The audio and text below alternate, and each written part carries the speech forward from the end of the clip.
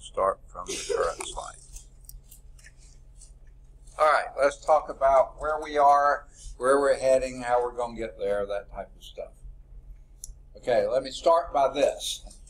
In this, one of my best classes, of course, of all time, I only have one uno paper turned in.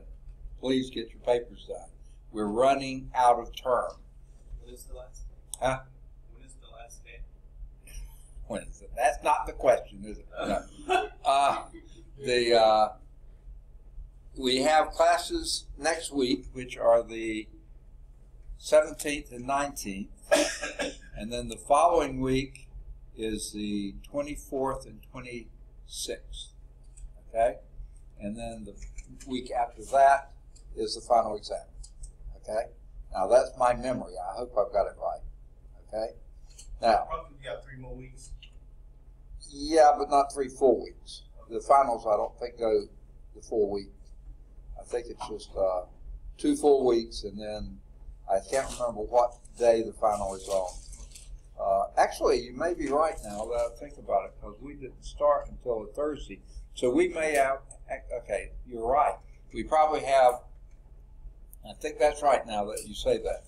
We have next week, which is 17th and 19th and then the following, which is the 24th and 26th, and then I think the 31st of July is the last day of class, and then the final is on the Thursday, the whatever that day in March is, March 2nd, I believe it is. I mean, goodness gracious, August 2nd, August 2nd, I believe. I think that's how it runs.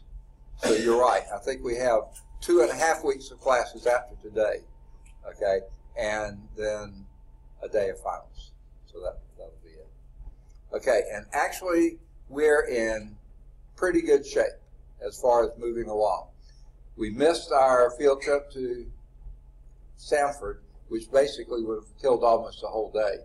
So that put us up, up so we're actually ahead of schedule of where I normally am at this time, which makes me wish we had had chapter uh, 22 included, which was the atmosphere, but it's not in your little books, is it? So we can't do it because it's not there. I'll take some time talking about it this time. Uh, not everything about the atmosphere, but at least some of the stuff about clouds and stuff. Okay, so last class we finished chapter, what was that, chapter 20? Okay, we did the lab that went along with chapter 20. Okay, that was topographic maps. And, but that's all we had time for. So today we start chapter 23, and we'll do chapter 23 just about all day long. Okay, we'll go, but I'll stop no later than 3 o'clock. I want to probably stop a little before 3 uh, to give everybody time to do uh, the test, which will start at or maybe a little before 3. Okay? Um, then I don't know for sure if we're going to finish the chapter in that time. I'm thinking not. Uh, okay, Justin's here. Um, I imagine we'll have a little more chapter left to do, and that will then be Tuesday of next week, is my guess. Now, we should finish the chapter Tuesday of next week, chapter 23. That means we'll try to set up to do the lab for it, which is the visit to the Channel 13 weather station, Thursday of next week. Does that work for everybody? Uh, there are only five people here. That would be okay with you? If we, I don't know that we can. I've got to arrange it with Jerry Tracy and, and his crew there uh, to see, but I, I think we'll probably be able, that's what I'm going to shoot for anyway. Thursday of next week, have that lab. That then leaves the following week to do chapter uh, 24, which is the last chapter we're going to do, Earth's Waters. And between Tuesday and Thursday of that week, we should come pretty close to finishing everything then. Now, when is it you have to go? Is it Friday of the the third? Okay, yeah. So yeah, we'll be through with everything by Thursday uh, of that week. So, uh, so what we'll do is have the uh, lectures on chapter 24, and then we'll do the lab for 24, which is just a paper lab. We'll do. You'll use your book for that, and then uh, after that, we'll have the uh, final exam on that Thursday, and and that'll be it. And the final is really short and really easy. So I'm thinking probably let's maybe try to have pizza that day. Would that be all right? Try to shoot for that day. Okay? That'll be Thursday the second. Okay. But well that's a ways off yet. All right, any questions about where we are, or where we're headed? Okay? Well, let's get started in chapter 23, which is weather and climate. Now, the picture on this is somewhat similar, but a slightly different picture from the one that's in your text. I wouldn't want to be on that sailboat right there, right then, or even this little boat right there. That looks like a major storm coming in, especially for a sailboat, if that indeed is a sailboat. Uh, I'd be heading to shore really fast, fast as I can get there, because that is a major uh, weather maker, it appears. All right? Weather and climate. And we'll do them in that order. The core concept here is running. weather and climate. Okay. Um, glad I left my windows up today. Yesterday I left them cracked. Today I said, they said we might have showers, and I didn't, so I'm glad of that. Okay. As in just about everything in physics, we get just about all of our determining stuff from the sun. Solar radiation drives the cycles in the Earth's atmosphere, and some of those cycles determine weather, and then climate determined over a long period of time. So climate as well as weather. Now, we're going to get to the difference of that. Weather is what's happening today, right? That's weather. Climate is what the broad uh, over time type deal has been. You know, uh, what has been the pattern for a long period of time. Now, this is a pretty decent shot. I don't think that's in your book either. Uh, this is from an older edition of. Can y'all pick out what that is? Pretty much that's the Gulf of Mexico. Okay? This is the Florida right here. Here's somewhere over here is Louisiana, I think. It's on the cloud cover, so you can't really tell. This is probably Texas, maybe down into the Yucatan Peninsula of Mexico, so that may be Mexico too. This underneath these clouds is the island of Cuba, I think, somewhere in there, and then some other islands there. So there's the a um, satellite shot of basically the Gulf of Mexico. We're right up here somewhere, okay? Um, or we wouldn't have been back then, but we're okay. There's the coast of Florida, Georgia, Savannah, somewhere right around there. So, so there's uh, a picture, and it indicates um, if I think you're actually seeing the the effect of wind on the Gulf of Mexico by seeing the the uh, I don't not actually waves there uh, oh the bigger things swells swells that have developed I'm sorry over the Gulf of Mexico and certainly the cloud cover here and here and there a little bit here more clouds up here uh, so this is an indicator of the weather that's happening at the time. You can't tell for sure, but it's a pretty good indicator. Now, where do we begin in talking about weather? As we said, the sun, solar radiation, drives just about all of this. So, let's start with the hydrologic cycle. How many chapters have had cycles in them? The rock cycle, you know, the uh, the cycle of plate tectonic. I mean, just about every chapter has talked about uh, the principle of uniformity. What was, uh, what's, what's happening now is the result of what happened before. What um, happened before is determining what's happening now. I mean, it's just it's all a big cycle. Including the hydrologic cycle. Now, what does hydrologic mean? It means it's referring to what? Water. Hydrologic. Hydrate. You know, that's water. From water is basically hydrogen oxide, isn't it? H2O. So the hydrologic cycle. Now, how does this begin? Well, where's the chicken, where's the egg? Uh, where does it begin? We don't know. Let's start with the ocean. Vast majority of the Earth's surface is covered by ocean waters. Okay? So let's start there. That solar radiation coming in from the sun heats the water in the ocean, evaporates that. The water goes up into the atmosphere. Somewhere up there it is cool enough that it forms clouds. Okay? The clouds are moved by winds. Now, the winds are caused by two things. Number one is the spin of the earth. That's partly responsible for it. But also, winds are caused by solar radiation, you know, getting uh, the, the, the things moving there. Okay, so the winds that move the clouds, and some of these clouds, well, we'll talk about that later, but some of these clouds make it all the way to land. And when they hit land, they may hit something that cools them even more, and then the precipitation falls out. So the evaporation happens over the ocean, precipitation happens over both ocean and land. The water comes out of the clouds, falls onto the land. Now, there, and we're going to talk about this more in the next chapter, we hope that much of that moisture goes into the soil. Okay? That's how we raise our crops and feed ourselves and that type.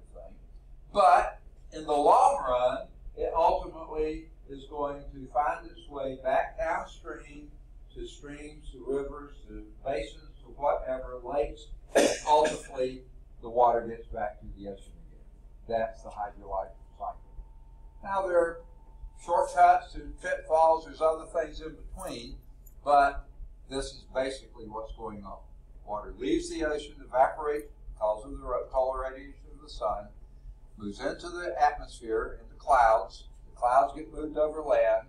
The, the clouds cool, the precipitation comes, hits the land, and again, there can be shortcuts and detours and stuff on the land, but ultimately that water makes it back to the ocean. Okay?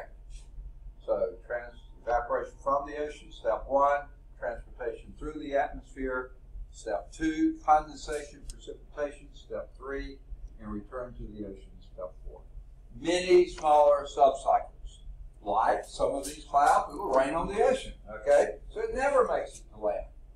Others, like we said, you may have a subcycle of the um,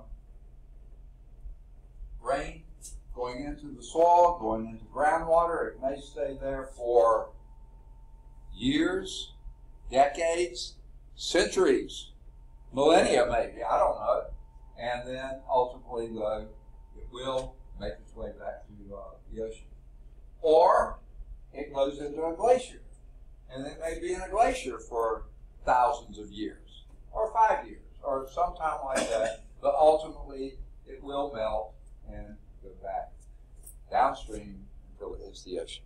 So there can be very much short circuits and some pretty long circuits too. Okay? Now, let's talk about the clouds and how clouds form. Um, the first statement here clouds form when air masses are cooled to their dew point. Actually, the last time I was home, I was talking with my older brother, who basically did economics and that kind of stuff. He said, I never have understood what they mean by dew point. And we got to talking about it. What do we mean by dew point? Anyone have a clue? Oh, that's give it a shot. Okay, actually, it's a temperature. It's a temperature. All right, let time out. Let's go backwards a little bit. If I were to uh, put a pot of water over a heating element in here and start heating that water, Okay? That water, as it heats, it gets more energy, and finally some of those molecules break away. It's no longer liquid water, it's now gaseous water. It's now water vapor. Now, if I had lots of pots and lots and lots and lots of pots on heating elements evaporating in here, at some point, this air is what we call saturated with water. Okay? And then you'll see droplets of water. In fact, when I come in first thing in the morning uh, to this classroom, because AC has been on, I don't know when they turn it on, but it's on when I come in. Those windows have water droplets on the in or outside. I don't. know I've never gone over to see. It's not like it's rained on them like you see now. It's actually like your mirror in the bathroom after you've taken a shower. It's got water fogged all over. Okay, why?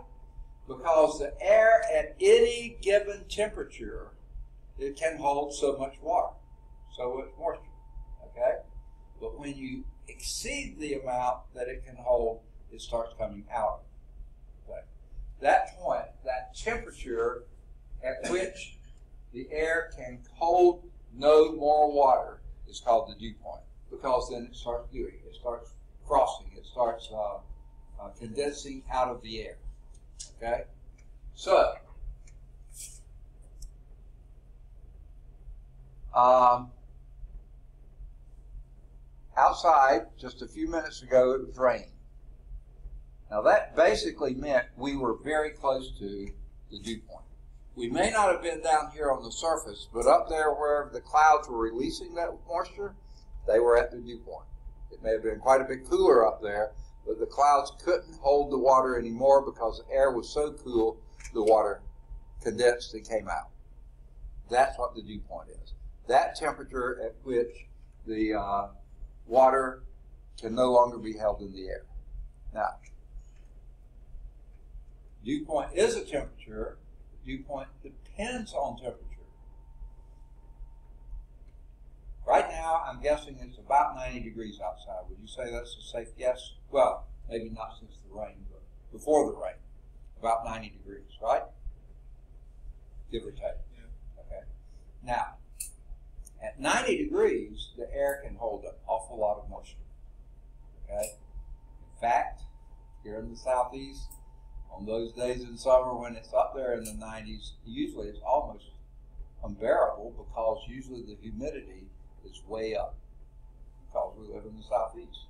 Now, if you're out there in the desert around Phoenix, Arizona, or somewhere, it may be 120 something, but not really feel any worse than it does here at 95 because that air is a very dry air, okay? Because you're in the middle of the desert. There's not much moisture in the air. In fact, the houses out there usually have water supplied to their air handling system to add moisture to the air. Okay, uh, whether it's uh, adding heat to the, you know, if it's in wintertime, they're heating the air, they surely need the moisture then. Or in the summertime, when it's they're cooling the air, they usually still add moisture. They have humidifiers in their air air handling systems. Here in the southeast, every air refrigeration or air conditioning system I know about is pulling moisture out of the air because you're cooling the air and actually the moisture is coming out. In most of your air conditioning systems, somewhere outside, you'll see a drain tube, and that's the condensate tube. Okay? The system we have in our upstairs, they have a drain pan underneath and it collects the water, but then it evaporates again into the attic because the attic is quite hot. Uh, the house we built over in Georgia, the air conditioning unit sits on the south side of the house, um, sort of south uh, western, a little bit, mostly south. And when the air conditioner is running, you can see water coming out of that tube just about all the time. So my wife saw that, and back when we just first built the house, we said, let me put some mint there, okay? It'll always get moisture when it needs it in the summertime because the air conditioner is always going to be running. So she put a couple of pots of mint there. It's all over the place. Now, it just loves it there. It's on the south side. It gets plenty of sun and plenty of moisture, and it just uh, you we're mowing the mint down sometimes. smells so good, you know, and it's a really good tasting mint too, because you've got condensation coming out of that tube. Anytime the AC is on, water is coming out because it's pulling water out of the air. Because the air outside, 90 degree air, can hold a lot of moisture. Inside, we're dropping that to say 68, 70, something like that. 20 degrees difference in air temperature. It can't hold as much moisture. So the moisture comes out and the condensate pulls it away and drains it outside. And waters are meant for us. Okay? So that's the dew point. Inside the dew point was, well, the dew point was that temperature at which the air can't hold any more moisture. That's going to be at warmer air, the dew point is going to be much higher. Cooler air, it'll be much lower. now, generally, when air moves up, okay, now let's picture. Let's go back to this picture. Okay? When the ocean's sitting out there under the sun, okay, and it's evaporating water, okay, that is at pretty high temperatures, and it goes up. Warm air rises, carrying the moisture with it. Okay, that was the chimney effect. Um, it has several names for it. One name, the technical name is convection. Warm air rises, cool air comes down. Okay. Now, did any of you or your moms, uh, grandmoms, someone have that clear pots and pans made out of glass? And it was usually sort of a, a tannish or a bronzish type color, but you could see through the pots. It was called Visionware when they came out with it. They don't sell it much anymore. But back probably a few decades ago, it was sort of a new popular thing. And can't remember if it was mom or my wife had a set of Visionware, and when you boiled water in the pot, you could see the water. You could look down in any pot and see the water bubbling up, but you can't. But this one you could see from the side, and you would see the hottest part of the eye. You know, it would heat up more there, and you see the water go up, and then it reaches the top, cool off, and go down the sides because the sides were cooler than the middle, and you would see the water doing this kind of motion all the time. Hot water moving up, cold water moving down, hot water moving up, and after a while it was boiling and it was roaring all over the place. That's convection, okay? And that's where the air is. Usually, the upward movement of air, when air heats, it, it warms, it goes up, and as it goes up, it usually cools. Why is that? Well, I can remember when I was a little boy and I would see the snow on the mountains or pictures of that. We didn't live anywhere near the mountains. And I would think, why have the mountaintops got snow on them when they're closer to the sun than we are down here? You know? And it didn't make any sense to me. Why? You know, it was cooler on top of the mountain than it was down here. Part of the reason of that is the air is denser down here, the higher up you go, the air gets less and less dense. So there's less friction, you know, and stuff like this between the air molecules. They're not bouncing around as much. The temperature is lower. Uh, the other thing is more of the sun rays have been deflected back into the atmosphere and not cooled as much. So there's a lot of the Earth's atmosphere acts like a blanket too. And further down, snuggled under more blanket, you're warmer, and less blanket, you're cooler. Okay, so all that's going on. Way up high in the atmosphere, there's you're losing heat to the space, whereas down low it's being trapped by carbon dioxide, methane, and other greenhouse gases. So uh, usually it's cooler up aloft than it is down below. So this warm, moist air goes up, moves up into the clouds. At some point, it gets cool enough that those water droplets, that water that's you know gaseous water, you don't see it; it's completely invisible. It begins to condense out into little bitty water droplets. That's what makes a cloud. Okay. Now, so it's carried up. Now the winds also carry it sideways. Okay? So these warm, moist air coming off the ocean will sometimes run into a barrier. Okay? That could be a mountain range. Now,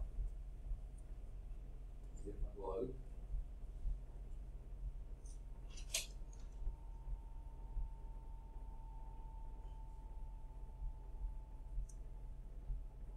I grew up in the southeast, and everything's pretty. It kind of makes sense here. I mean, we got the Gulf of Mexico pumping moisture up here. It cools and falls as rain. That that kind of makes sense. When I was in the Navy, I was stationed the first three years. When I was in, in port, we were on the west coast, California, near San Francisco. Uh, the uh, San Francisco Bay is here. Uh, our home port was Concord, California, which was inland a ways, up a river, the Sacramento River, I believe it was. Uh, and in order to get to our base up inland a ways, you had to go through, literally through, a small mountain range. This was part of the Sierra Nevadas, I guess it was. And literally, you went through it, okay? Uh, because as I would drive from San Francisco and Oakland to Concord, you went through a tunnel. The tunnel was through the mountains. And the bizarrest thing, I, I always found this so strange. In the wintertime, uh, the grass was green on the San Francisco side and not much of any color at all on the inland side. In the summertime, it was greener on the San Francisco side and browner on the inland side it, because it was so dry. Why? Because that mountain range, all the moisture coming off the Pacific, and look at this. Look how much water you travel over. Those winds travel over, picking up moisture as they go. They hit the west coast, and then up here are the Cascade Mountains, down here are the Sierra Nevadas, over here are the Rocky Mountains. Very little of this moisture makes its way inland. Okay? For instance, one of the wettest cities in the U.S. What city do you think of when you think it's raining all the time? Seattle, Washington. You're absolutely right. And just inside Seattle, Washington, you go east into Washington, and it's dry as most. Spokane is not quite a desert, but it's a very dry thing. That mountain range, the Cascades, catch all the moisture coming off the ocean, and it rains on the west side, and it's dry on the east side. Same thing was happening when I drove through the mountain uh, going to Concord, California. It'd be wet on the the uh, the western side, dry on the eastern side. Okay, that's a barrier. The barrier mountains are cooler up top, catching the moisture. The moisture comes out. Now, one of my favorite places on the west coast. I was found that someone, a friend, took me there, and then after that, I went any chance I got, which wasn't very often, but any chance I got, a place called Muir Woods, right up against the water. The mountains went straight up almost. There was a little pocket there. It couldn't have been more than a few square miles. It probably was, but it just didn't seem like it. And the giant sequoias were growing there. Those trees went up forever, it looked like. In fact, you had to drive over a mountain range to come in, and it was dry as a bone on the outside. And when you came in, you were way high, and you could see the trees right across here, but they went down forever, you know. And uh, and there would be clouds in the trees. They were that tall, you know. And then you drove down, and it was just moist at the bottom. So all that ocean air came in, full of moisture, and hit the mountains, and it all rained. So those trees were huge. Inland from there, you couldn't support a tree like that anywhere. Not enough moisture. It was just a fascinating place to be. Okay? Beautiful place. Okay? That's the barrier. Now, other things that happen is you have one air mass hitting another air mass. And when it says different densities, think two things. Temperature is one. That's the big one. The lower the temperature, the slower the air molecules move, they get closer together, they're denser. That's why cool air sinks. Warm air rises because the more it heats up, they get more energetic, they bounce further apart, they get less dense, and they rise. Okay, that's why convection happens. So, if you have one air mass, now I said think of two things. Density is one, the second one is moisture content. That can make air heavy. Okay, different density. So, let's say that we had, this is probably what happened today, I don't know for sure, but it's a good guess. We had a bunch of warm, moist air coming up from the Gulf of Mexico. Okay? Hit, it hit a little bit cooler air that may be coming down from the Great Plains. That from the Great Plains was uh, cooler with a higher density. The warm, moist air coming in from the Gulf of Mexico, warmer with a higher density, went up over the top, dropped to the dew point, and that's why the rain fell. Now that's a real simplistic thing, but that's generally what's happening. It's cooled by upward movement, whether it hits a barrier or it hits a air mass with a different density and different temperature. Okay, now, how do these clouds form anyway? The cloud formation depends on the atmospheric stability. Now, this is a term that I think the book does a pretty poor job of describing. It, does, it describes it correctly, but it just isn't all that clear. When Jerry Tracy talks about it, he can make it much, much clearer than I found that the book does. So stand by with it. Here's atmospheric stability. A stable atmosphere means that this parcel of air that has been cooled, uh, that has been lifted, is cooler and denser than the surrounding air. Now, that part of what they're describing makes no sense to me. I know what they're trying to say, but the way they say it really makes no sense. It's saying for a stable atmosphere, the lifted parcel of air is cooler and denser than the surrounding air. I say, well, if it was cooler and denser, it would stay low. It wouldn't be lifted. So, but that's not what they mean. Okay? So what happens, the lifted parcel returns to its original level. Okay? It tends to go back down. So this is the part, that one doesn't make a lot of sense, this one does. Okay? That's a stable atmosphere. On an unstable atmosphere, the lifted parcel of air is warmer and less dense than the surrounding air. Well, that makes sense. That's why it's being lifted and it keeps moving higher and continues to rise until it cools enough and then wants to fall again.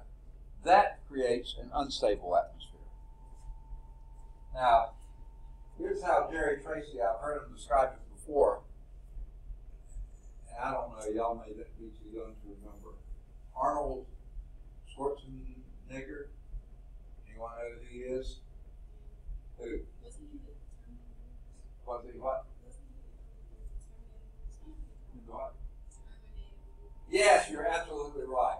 He, in fact, before that, he was Mr. Universe. He was a weightlifter, bodybuilder, and he won Mr. Universe title. He was strong, big, muscular, you know, all that kind of stuff. Now, later, he was also governor of California. okay? And then more recently, he was in the news for this one. He became the boss on The Apprentice before it shut down. You know, after that other guy was there. Okay. Did I say that? Okay. Um, which, by the way, folks, are any of you, uh, all of you are state of Alabama. I hope all of you are registered to vote, right? You do know there's a runoff election coming up next Tuesday. Now, there's not too many things that are in the runoffs, but there are a few. And if you're in a district, if you're in Jefferson County, the sheriff is a runoff thing. So don't fail to vote. Please get out there and vote. I'm not going to say who to vote for, but please vote. Don't ever let an election day pass by that you don't vote. Every time. Okay. So anyway, these unstable atmosphere. Uh, uh, back to Jerry Tracy's story. So he said if if Arnold Schwarzenegger were to come in here and lift me over his head that would be a pretty stable situation. I wouldn't like it, but he, he can do it. He's that strong, he used to be. He said, but if I got under there and tried to lift Arnold Schwarzenegger, that would not be stable at all. We'd both be crashing to the floor. And that's sort of what he's talking about here. If the lifted parcel of air, and this sort of doesn't make sense, is moving upward where it's cooler, okay, then that's a stable situation. If it's being lifted upward, it's warmer and being lifted up and less dense, then it's going to keep moving up, and then you're going to get circulation, and we'll see that a little bit later, okay? But I find these figures, and this doesn't do a great job either, but here's the temperature of the surrounding air.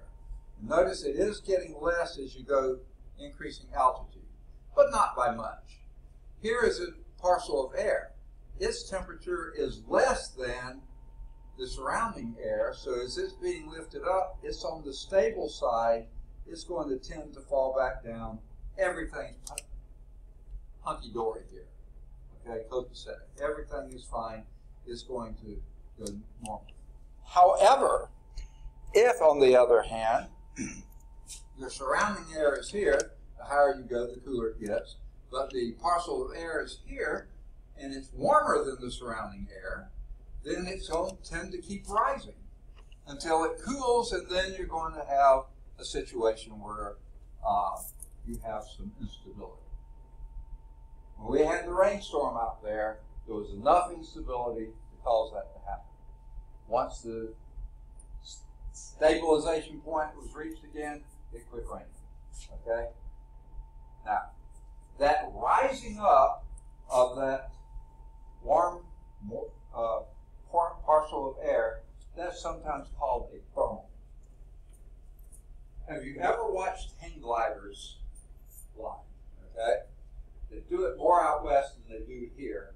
But uh, when we were in the Tetons many years ago, they people, not me, literally run off the mountainside with these big paragliders and stuff, and then glide along, and they rode those thermals. Sometimes that would be, say, over a river, okay, where the water was heating up and stuff, and it would be lifting, or over roads or things. Parasailing. Second? Parasailing. Yeah, parasailing does the same type thing. Is that- You have done it? Yeah, and we were in thermals and we were up there for like 40 minutes extra because we just kept hitting thermals and we couldn't come down. And you couldn't come down and get in. Uh, just staying up there. I yeah. got sick because we were up there for so long. Oh, wow. my first time ever doing it. yeah. Did you go back? Yeah. All right, good man. Okay. I'm not sure I would. but yeah, those are the thermals. That's exactly what it's talking about. You're being lifted up, and if you can catch those, yeah, you can stay up a long time. Watch an eagle fly, or buzzard, or eagle sound nicer. But They, they hardly ever flap their wings. They just hold them out there, and the thermals keep them gliding. Hawks, same type thing. Little birds, they don't have the wingspan to do it. Bigger birds, something they're just elegant. And seagulls are not all that elegant, but they'll glide like crazy. Pigeons are not elegant at all. Okay, never mind. Okay, so the upward mobility and, and the moist air, the rising moist air cools, eventually reaches the dew point. When it reaches that dew point, now these little droplets condense around. Now, here's a, a term that you don't see that frequently what they call condensation nuclei in that saturated air. Okay, now what in the world is a condensation nuclei? They can be different things. Uh, let me just see if I can find what they mention in the book so I don't. Uh, okay. It the, requires the help the, the condensation of these tiny microscopic particles, meaning incredibly small, called condensation nuclei. Okay, they don't really give a good de- description either. Let me give. Okay, these can be dust particles. Okay, that's all it takes a little dust particle. Okay, or salt crystal, especially if you're near the oceans and salt, the, the, the water from the uh, ocean is evaporated, but maybe not completely evaporated, carried a little bit of salt with it, and then it dried out and you have little salt crystals floating around up there. Anything such as that can be a condensation nuclei. Tiny little things. When you get these little, little, little bitty things like this, those are called colloids meaning too small really to be seen with the human eye, but they're very tiny. Uh, of course, they're tiny. But when they're that small, they tend to be charged, positively or negatively. It doesn't really matter, and that attracts the water molecules because water molecules are polar. We talked about this before, didn't we? Every water molecule has two hydrogens and one oxygen. The hydrogens tend to be positive, the oxygen negative. So they're always polar. Well, if these little charged dust particles up there, or salt crystals, or other things like that, so tiny that they are colloids and are slightly charged, they're going to attract water molecules. Either the negative will attract the, the hydrogen side, the positive will attract the, the uh, oxygen side. But they attract the water molecules and then they get more water molecules. And after a while, after a while, you get these little droplets condensing around those condensation nuclei. Okay? Now, if there are no condensation nuclei, then you get what you call supersaturated air. It has more water in it than it really should hold, but there's nowhere for the water to attach itself, so it doesn't come out of you know the air as quickly. And when it does, a supersaturated, like it gets a blast of uh, dust particles in it, then immediately it'll start, and then you can have some pretty major uh, downpour from that. Now, let me mention one other condensation nuclei, and that could be a little ice crystal, which itself is water, which itself is a polar molecule. But if that little ice crystal attracts this water that's in vapor form, now it starts forming that either is going to, in fact, most of the time, it's going to freeze that water molecule. Okay, and then freeze another and another, especially if it's far up there really high, really cold, then these they start freezing. What you have then form is a hailstone. And when the hailstone gets big enough that it, it can't be supported anymore, it falls to the ground. Now, most hail does not make its way to the surface. It melts on the way down. But the biggest ones, they do make their way, and when they fall, boy, can they cause some damage. Okay? And we'll talk about that later. Okay? So the condensation nuclei could be dust particles, they could be uh, salt crystals, or it could be ice crystals. Now, salt crystals attract water too, because guess what? Salt dissolves in water. So it's hungry for water and it's going to attract those. So any one of those will make a condensation. All right. I wanted to say the ones the book talks about, but it really didn't. So, as this air is rising, okay, it is also cooling. Okay? But that cooling of the rising air is slowed because, now this is a weird concept, but it, it makes sense if you think about it. Let's think about that water on the pot, on the eye, and you're heating it up. Okay, now that water that you're heating up, I'll say heating up, when you first turn on the pot, that's what it's doing. It's heating the water in the pot, increasing its temperature until it reaches the boiling point. Now, at the boiling point, the temperature doesn't change. It stays at the boiling point, which is 100 degrees Celsius, 212 degrees Fahrenheit, stays right there until every bit of water boils away. Then you add more heat and the steam becomes hotter and hotter and hotter. But at the boiling point, everything's at 100 degrees Celsius, 212 Fahrenheit. Where is the heat going? It's going to change the liquid to a gas. It's not increasing temperature, it's changing phase. Now, the same thing happens on the low end, too. Okay? Have you ever had slightly damp hands and you got ice out of the freezer? And the ice froze to your hand. You couldn't get it off without hurting, you know, big time. You almost pulled the skin off.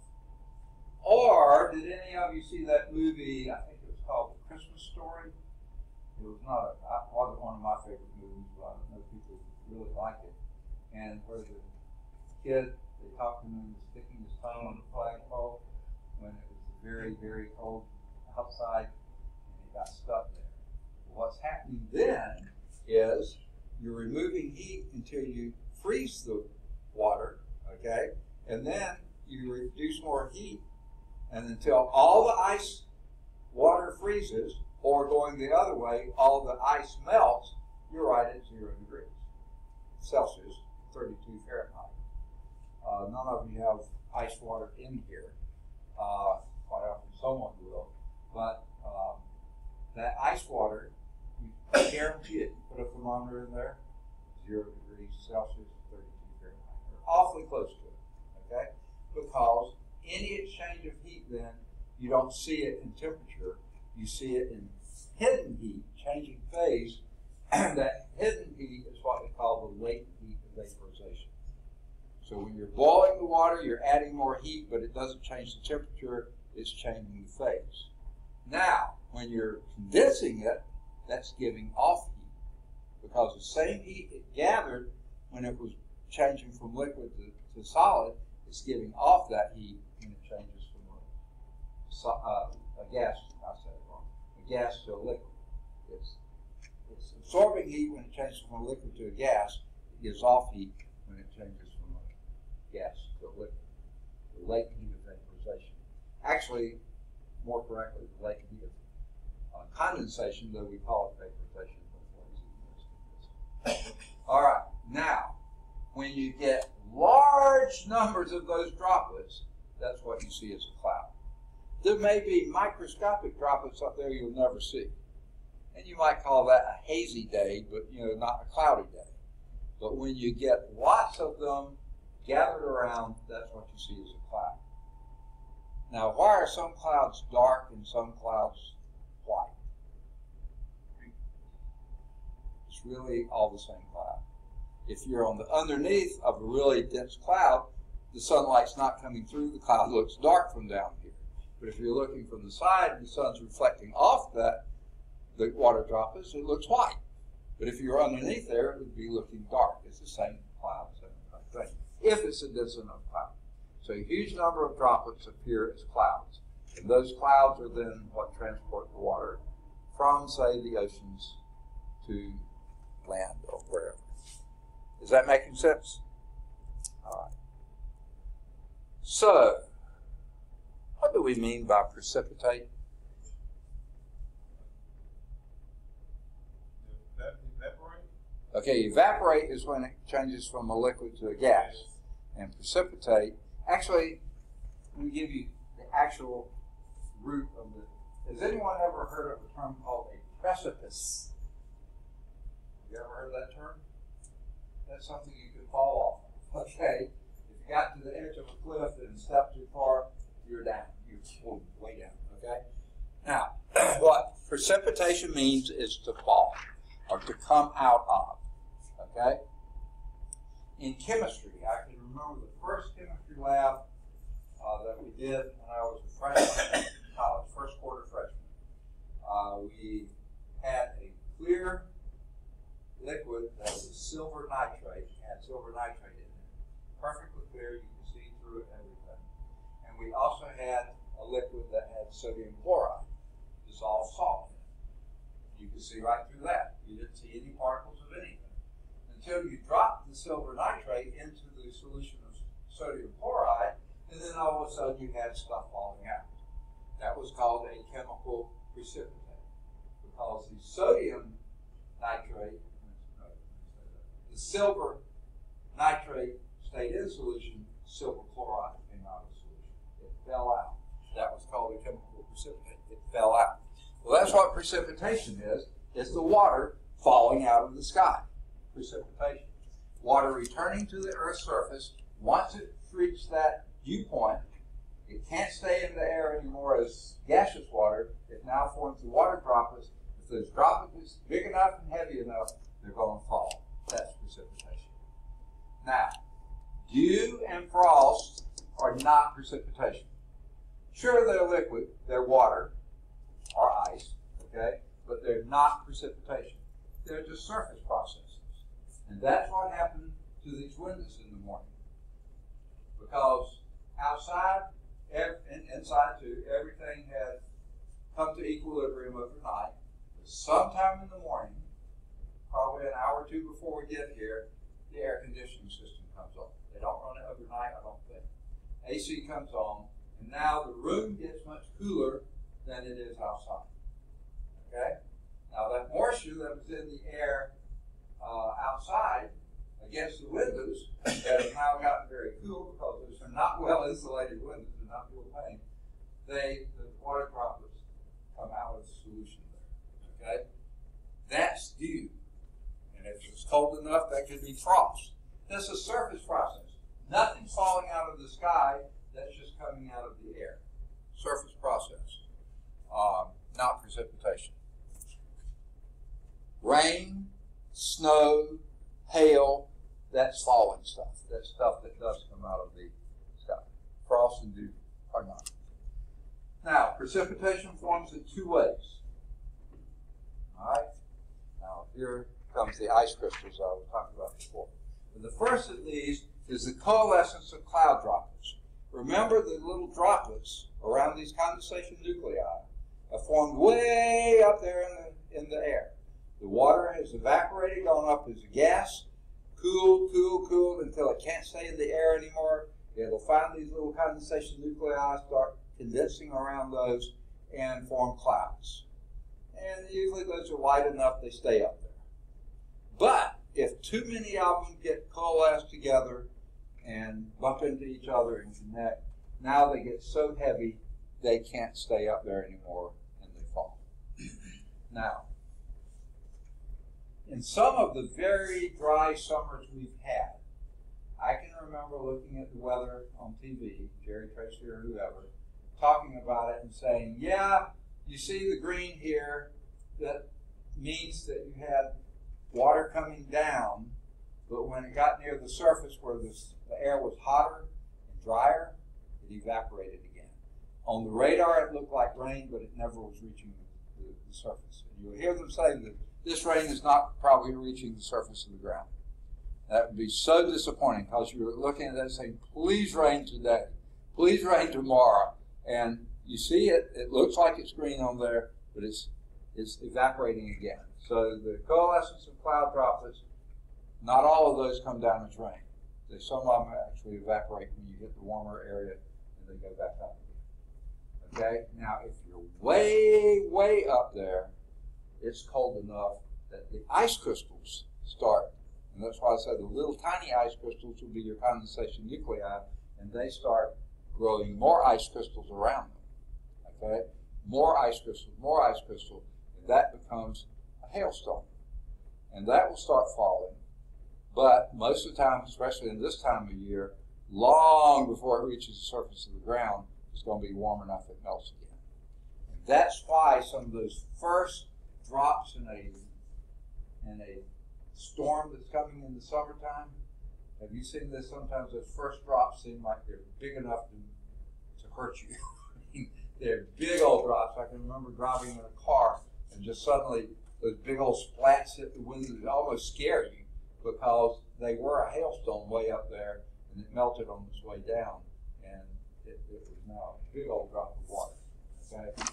So the growth of ice crystals. Now, let's look at the coalescence process. This plate takes place in warm cumulus clouds near the tropic oceans. Now, we are kind of near the tropic ocean, like the Gulf of Mexico. Uh, and so some of this is happening there. That co- coalescent process is the air is filled with moisture, it goes up, when it cools off enough, it starts condensing, that's coming down, and then those droplets combined with other droplets coalesce, get heavy enough, and they fall. Yeah, some of our rain is like that. Much of it could be. The clouds contain giant salt condensation nuclei. That's what I said. Over the Gulf of Mexico, over the Pacific Ocean, the Atlantic Ocean, Mediterranean Sea, actually could contain some salt. They say giant salt condensation nuclei. They're not giant. They're tiny but bigger than normal. Okay, uh, ice crystals just up there in the air. Now, the ice crystal process that takes place in clouds at middle latitudes. Okay, I love looking at clouds. I mean, I always have. I didn't know what I was looking at in the early years. Now I have a little more idea of what it is I'm seeing, but still, I find them just fascinating to look at. But you know those clouds.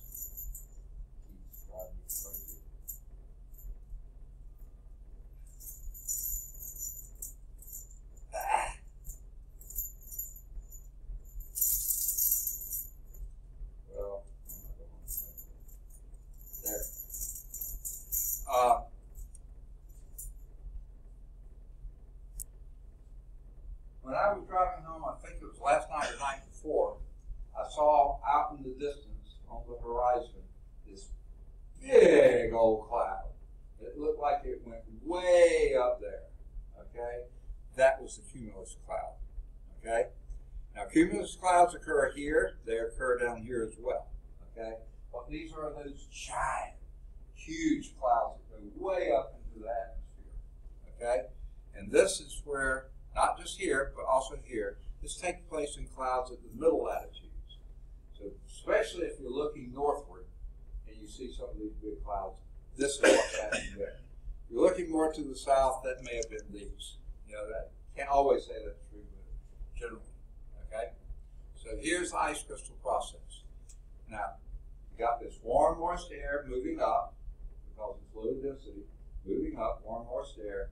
It starts cooling a little bit. Okay? Now, rather than hitting salt condensation nuclei, it actually hits ice crystals that are your condensation nuclei. Okay? And these ice crystals are up there and they attract more water. And the, and the, the and if that ice crystal is cold enough, rather than melting the ice, it freezes the water. So now you get a bigger ice crystal, and a bigger ice crystal, and a bigger ice crystal until it becomes basically a hailstorm. Okay?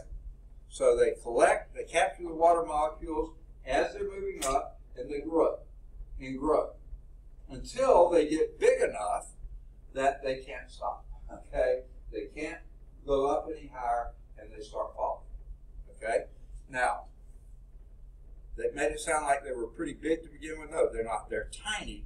And in the wintertime, this is snowfall. They have formed these ice crystals, and you've heard it said before probably that there's no two snowflakes are identical. I don't know if anyone's ever proven that. But they form these crystals however they form, you know, and they're always sort of six, six-sided. So they form these crystals, and when they are heavy enough, they fall. Now, some fall with big old chunks of snow, some sort of float around. Okay. But more they fall as snow in the wintertime, which we don't get much of. But in the summertime, especially for the big old tall clouds, especially if they're to the west or the north, maybe some to the east or south, but mostly those, if you see them, that's where the rain's coming from, quite often it does, they've gone up there and become ice crystals, and when they get so heavy, they fall. Now, that's what they call a supercell storm. Uh, let me hold off on that. I'll get back to that later.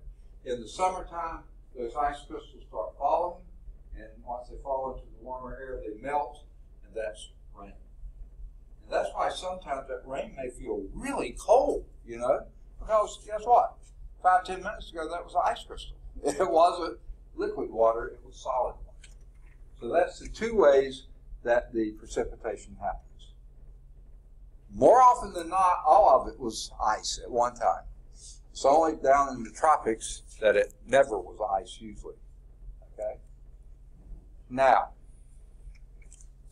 that leads to 23.2. This is the weather producers. All right? And here again, let me get my globe. Okay? Now, this is an idealized model. It doesn't fit completely, but it models it pretty well. Now, from 10 degrees north of the equator to 10 degrees south of the equator, there's a pretty narrow band here. Okay?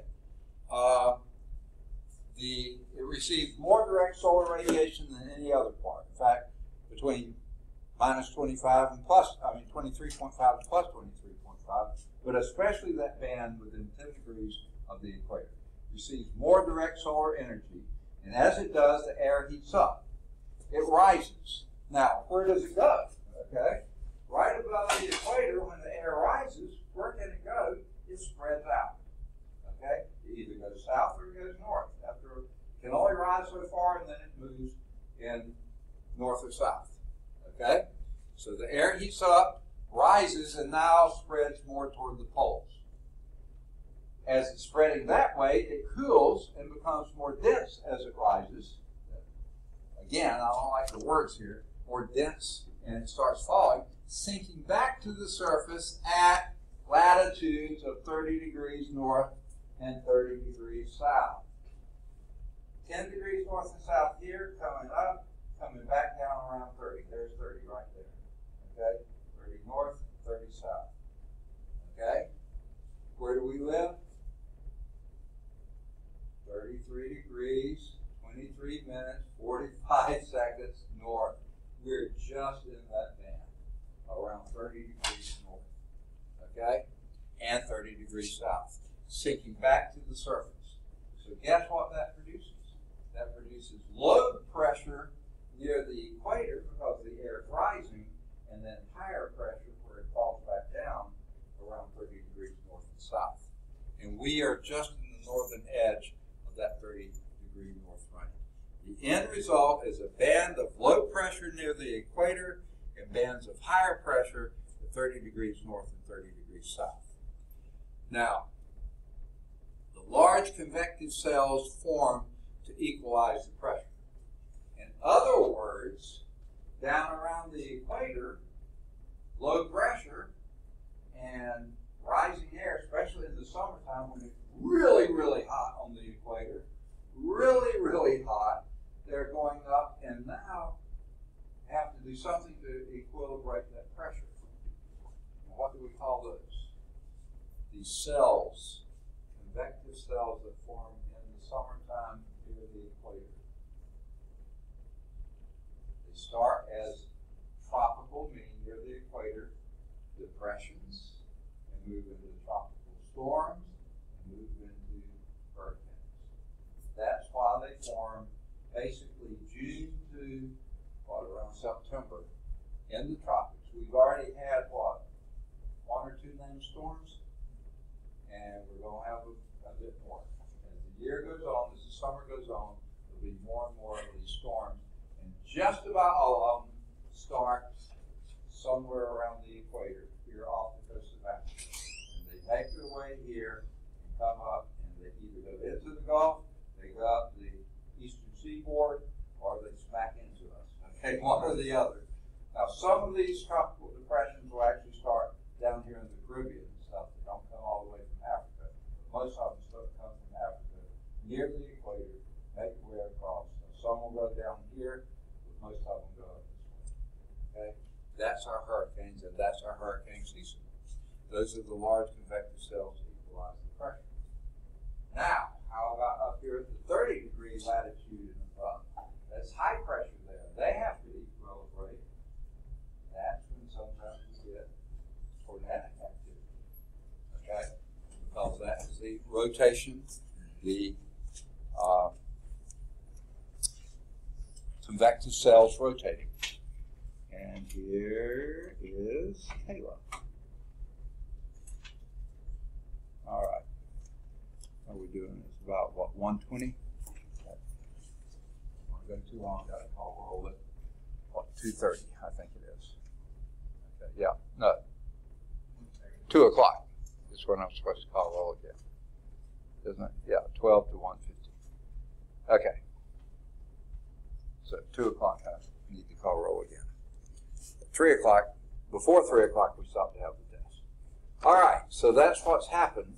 You wind up with low pressure near the equator, bands of higher pressure near 30 degrees. Now, there's a lab that we do in physics and physical science. We go down to the lab here, one of the first things I ask you to pull out the phone, find out what the barometric pressure is your investment at that time. Well, I have been shocked because you see, I was always under the impression that because we're here in Westmont, okay, we're a good deal above sea level.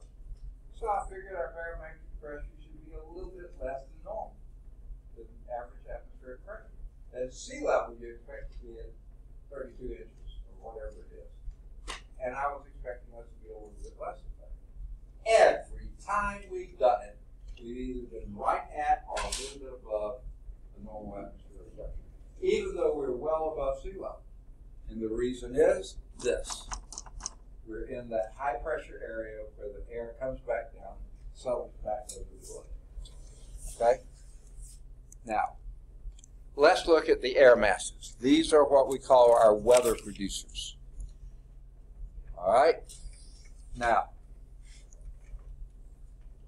definition of these air masses or description they're large, fairly horizontally uniform bodies of air that cover large areas. Okay? Now, the moisture and temperature within these air masses is basically fairly close to the same. Near the edges, you'll get a little variation, but most of the time, the moisture and temperature is pretty uniform throughout these big air masses. There are four main types of these air masses. The first of these is called the continental polar. Okay, now what do we mean by that? That means they come from land masses near the poles. So our continental polars would be mostly from Canada and northern U.S. These air masses make their way south. Okay? They're usually cold and they're usually fairly dry. So the continental polar air mass over in Europe, the Scandinavian countries, they have their own, and then most of the rest get theirs from Russia. Okay? Siberia.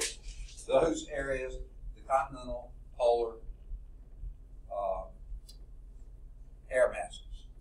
They're cold and they're typically fairly dry. Now, we have friends who live in Trieste, Italy. Now, you know, Italy is like this little boot that's into the Mediterranean. And if you went up the west side of that boot, it went all the way to the top where that boot sort of curves around and forms a little curly cube there. And you're actually heading, you're still in Italy, but you're heading over toward Slovenia. And right before you reach Slovenia is Trieste. I mean, it almost is on the border with uh, Slovenia. Now, there, and they're right on the Adriatic Sea. It was a big shipping port. Uh, in the history, many, many centuries, it's been a big shipping port. Uh, but they have this big uh, compass rose there, and they point to the northeast here. And they call that the Bora. The Bora means cold. Cold. What the Bora is, is every now and then they get these sweeping air masses coming out of Russia, coming across Eastern Europe, and make their way as far south as the Mediterranean. And they say when those Bora come in, they can literally sometimes blow cars off the road into the bay. So when they know they're coming, they say, stay off the road. Get to a place, settle in, because those winds are fierce. Okay? That's continental polar. Okay? For us, it's coming out of Canada. That's the continental polar. Next, we have the maritime polar. Now, that could come on the west coast from, say, the Alaska currents, or on the east coast from the Nova Scotian, you know, uh, Greenland, and, and those type of areas. That is the maritime polar, meaning it's coming over water, but it's still cold. Okay? Now, those are usually cold, but usually fairly moist. Okay? Got to sneeze, sorry. We also have continental tropical. Tropical meaning coming from warmer areas, continental coming over land. For us, that's Mexico, the continental tropical. Okay? Continental meaning it's usually going to be dry, tropical meaning hot. And guess what we have down here? Deserts, the Mojave Desert, the uh, a lot of Arizona and New Mexico, the southern part desert, West Texas desert, okay, because you got this continental, very hot, dry air coming off of Mexico, and then you have the maritime, maritime tropical, and this would be coming off the South uh, Pacific, off the Gulf of Mexico, big time. That's what we get lots of, and then some coming off the uh, South Atlantic as well. That would be your maritime tropical. Okay, that's warm and it's moist. Okay, now those are your four major air masses. These dictate what we call the air mass weather, the big systems. Okay, the weather conditions remain the same over several days. Now, frankly, this summer, until recently, it seemed like we were under the same condition every day, and now it looks like we're going back to that. We had a few days this week that we really didn't have much rain at all, but boy, the month of June, it seemed like it was raining almost every day, wasn't it? And it seemed like we were under some sort of a big air mass weather condition. I don't know that we were, but my guess is that we were. And my guess what that was, we were getting warm, moist air, the maritime tropical, pumped out of the Gulf of Mexico, just constantly. Okay? And then it would get up here, precipitate, get up here, precipitate. Now, more than likely, it was hitting some colder uh, continental polar air, and that's what made it precipitate. Okay? But when we talk with Jerry, he may go into that a little bit more. Okay? Now, the weather changes when the new air mass moves in or when the air mass acquires local conditions. Like that warm, moist air that's been pumped up out of the Gulf. Maybe the rate at which it's coming up has slowed a little bit, and now you're getting it to mix with the normal air, and it kind of slows down. And that's what it seems like we have now. It's mixing with the local air, and that's why we're not having big storms, but just rain every afternoon, it seems like, or close to it. Okay? The air mass acquires the local conditions. A little bit cooler, uh, and the precipitation falls. Okay? Any questions on air masses? Okay. Your book has a slightly, I think, better picture than the one here in this one that's your figure 23.6. Uh, it shows a little more bigger range than, than the one here. Okay. Now, that leads to the concept of weather fronts. Okay? Now you hear on the on the weather, if you listen to weather at night, I used to pretty frequently. I hardly ever hear it anymore. We just don't turn on the TV that much. Uh, but you'll hear them talk about cold front, warm front, stationary front, some sort of front. They always talk about fronts coming in or leaving or whatever. Well, here's what the weather front is. It's the boundary between the air masses.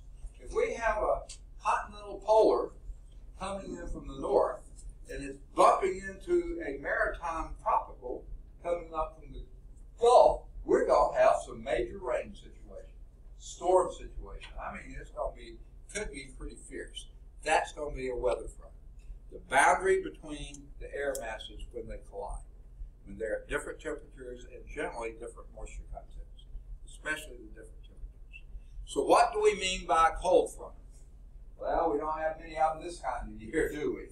Uh, we're dominated by the warm fronts, it seems like. But we sometimes do. A cold front is when the cold air is moving down. Usually, for us, that would be the continental polar. Coming in, moving in, displaces the warmer air that's already sitting on top of it, and when that warmer air is forced to go up, right? Cold air moving in, warmer air forced to go up. Guess what situation that is? Unstable. That's when we're going to have some pretty big weather makers. Okay? The moist air, rising air is cooled, leading to large cumulus and thunderclouds, and then we're going to have some rain. And sometimes pretty major rain at that. Okay? Now, this picture seems completely out of context, but let me try to explain what's going on here. Okay?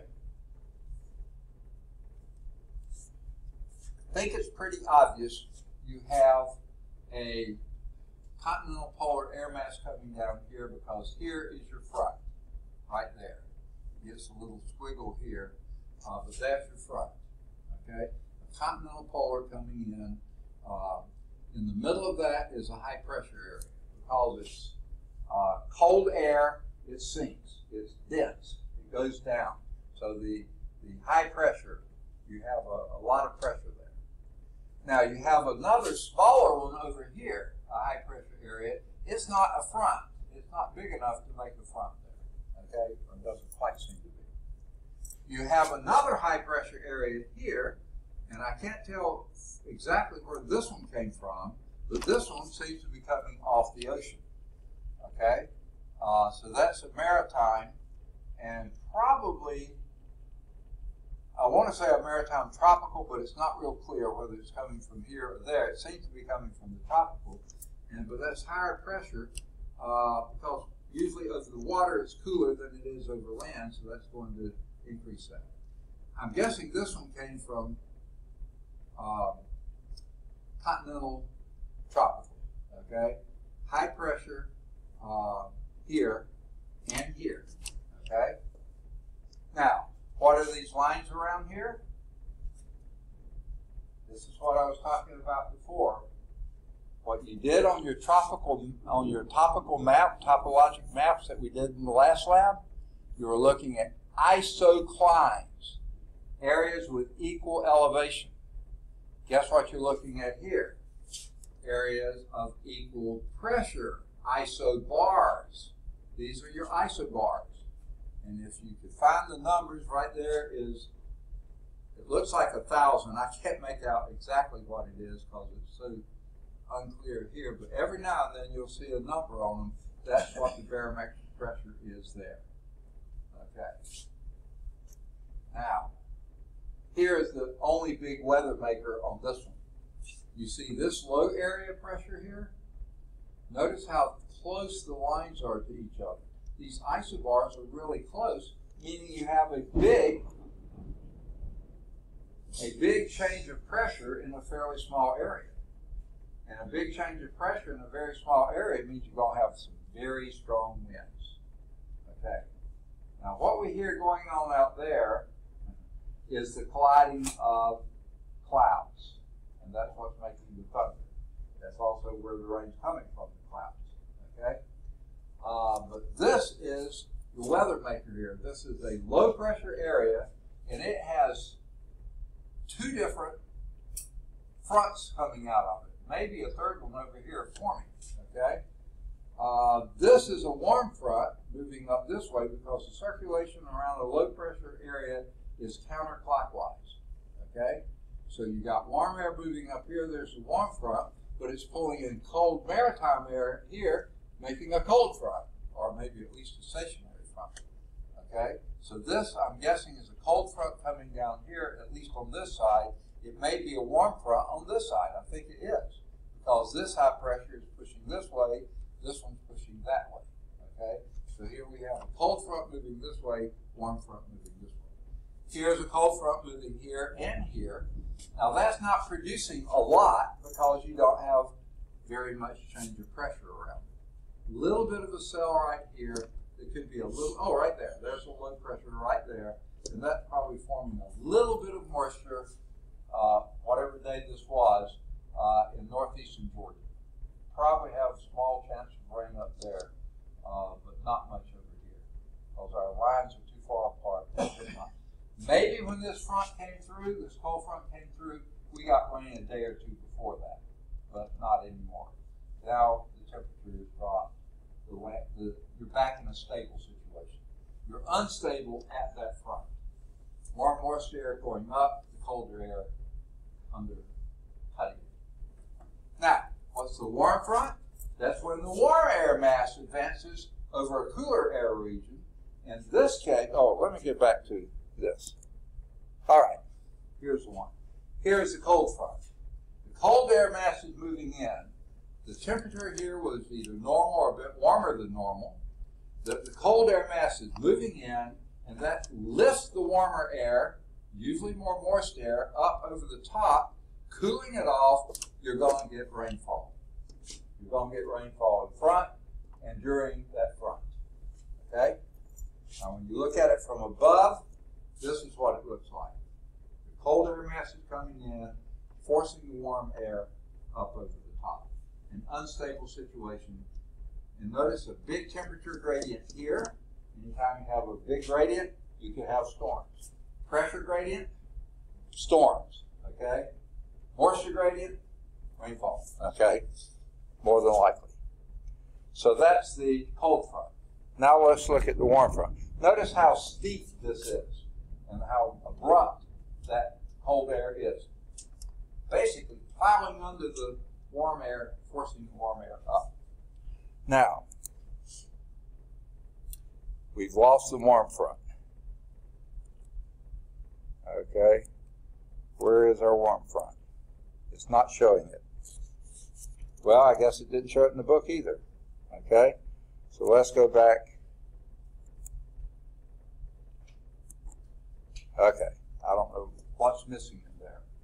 Here is that cold air mass coming in. The warm air is over here.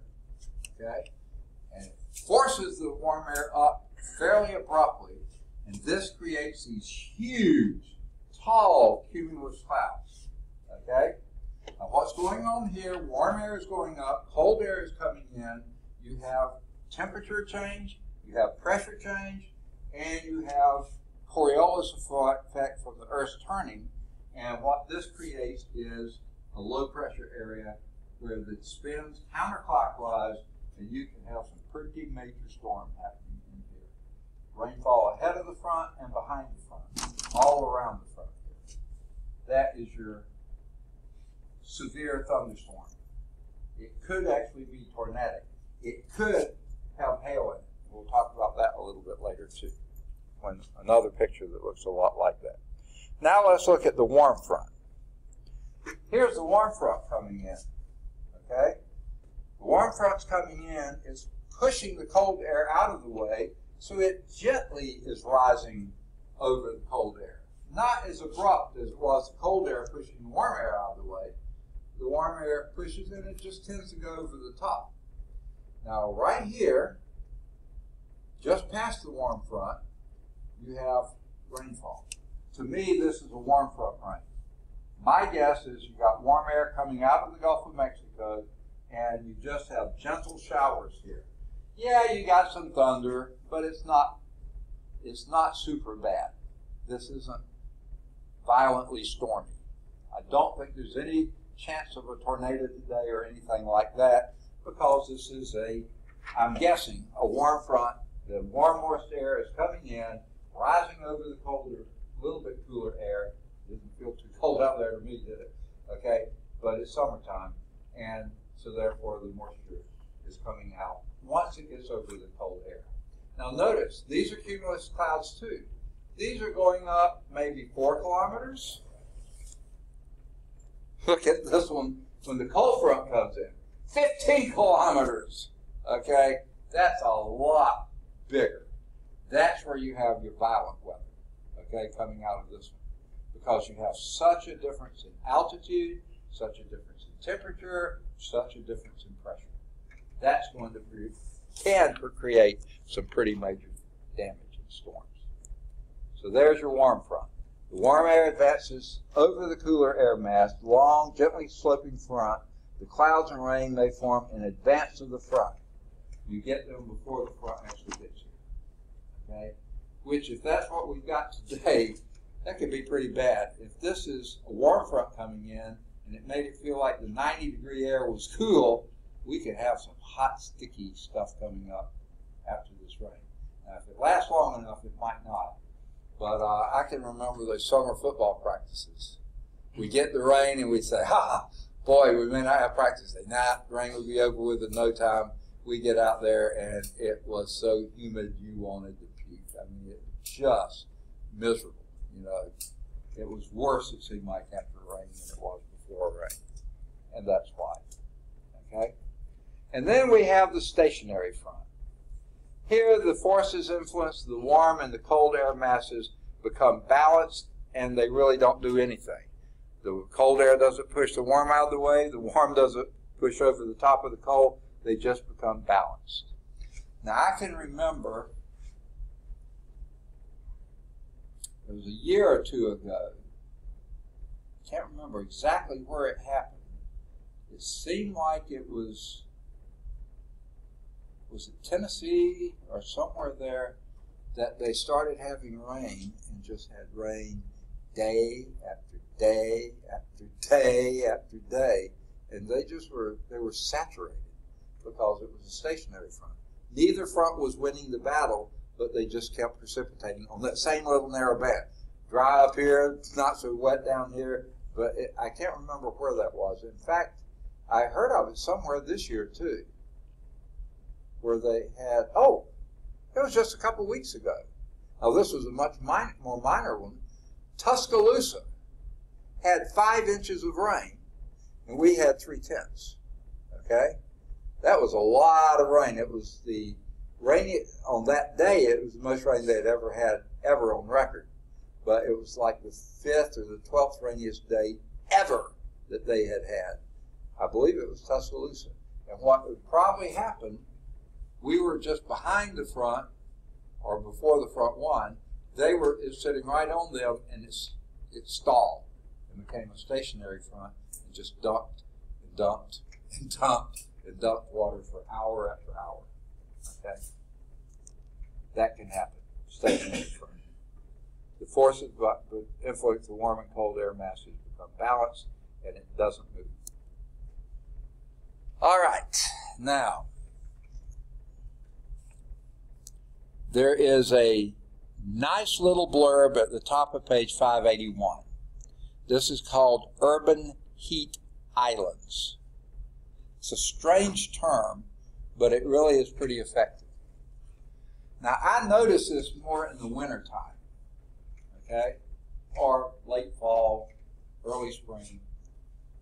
I will leave here sometimes because, say, this fall, uh, second mini term, I will leave here. I have a second mini term physical science 112 class, or I have have had for several years. It probably will be this time too. That starts at 3:15 in the afternoon. Because it's a mini term, so it's going to be 3:15 to 6:45, and then the lab will be 6:45 to 8:45 or something like that. Okay, it's a long class. It goes late into the day. Okay, and I'll leave here sometime 8:30, 9 o'clock. Get in my vehicle, already pretty chilly by then. Okay, late November, early December. So let's say it's 50 degrees when I get in my vehicle. Okay, now which way am I going? I'm going a little bit north. Okay, which should make it, if anything, a little cooler. I'm going east. It's a little bit east. Well, uh, it's, the sun's been down longer there than it has here, so it should be a little bit. Uh, and it's later at night. You know, I'm driving for 30, 45 minutes, so it's getting later. It should be getting cooler as I drive. I got the thermometer in the car there. And sure enough, when I leave Bessemer, uh, I'll see the temperature usually drop a degree or two until I get near Fairfield and Ensley and stuff. But somewhere there, as I get closer to Birmingham, suddenly the temperature starts going up again. And it'll keep going up, and sometimes it'll be five degrees cooler when I get to Birmingham than it was when I left Bessemer. It's later at night, it's further north, and it's further east. Why would it be warmer? Because it's an urban heat island. Okay? And they talk about it here, and these have actually been documented. Just about always, whatever they say the temperature is outside, our thermometer is always two to two to five degrees warmer because we're in the city. At the airport, it's open space. It's, it's going to be a little bit cooler there. And we're not but a few miles from the airports, okay? Uh, so, anyway, it's a good little blurb. I highly recommend you read it. It's very short. There are some questions, and if that's something you want to do as a paper topic, hint, hint, uh, you could do that. Okay. Now,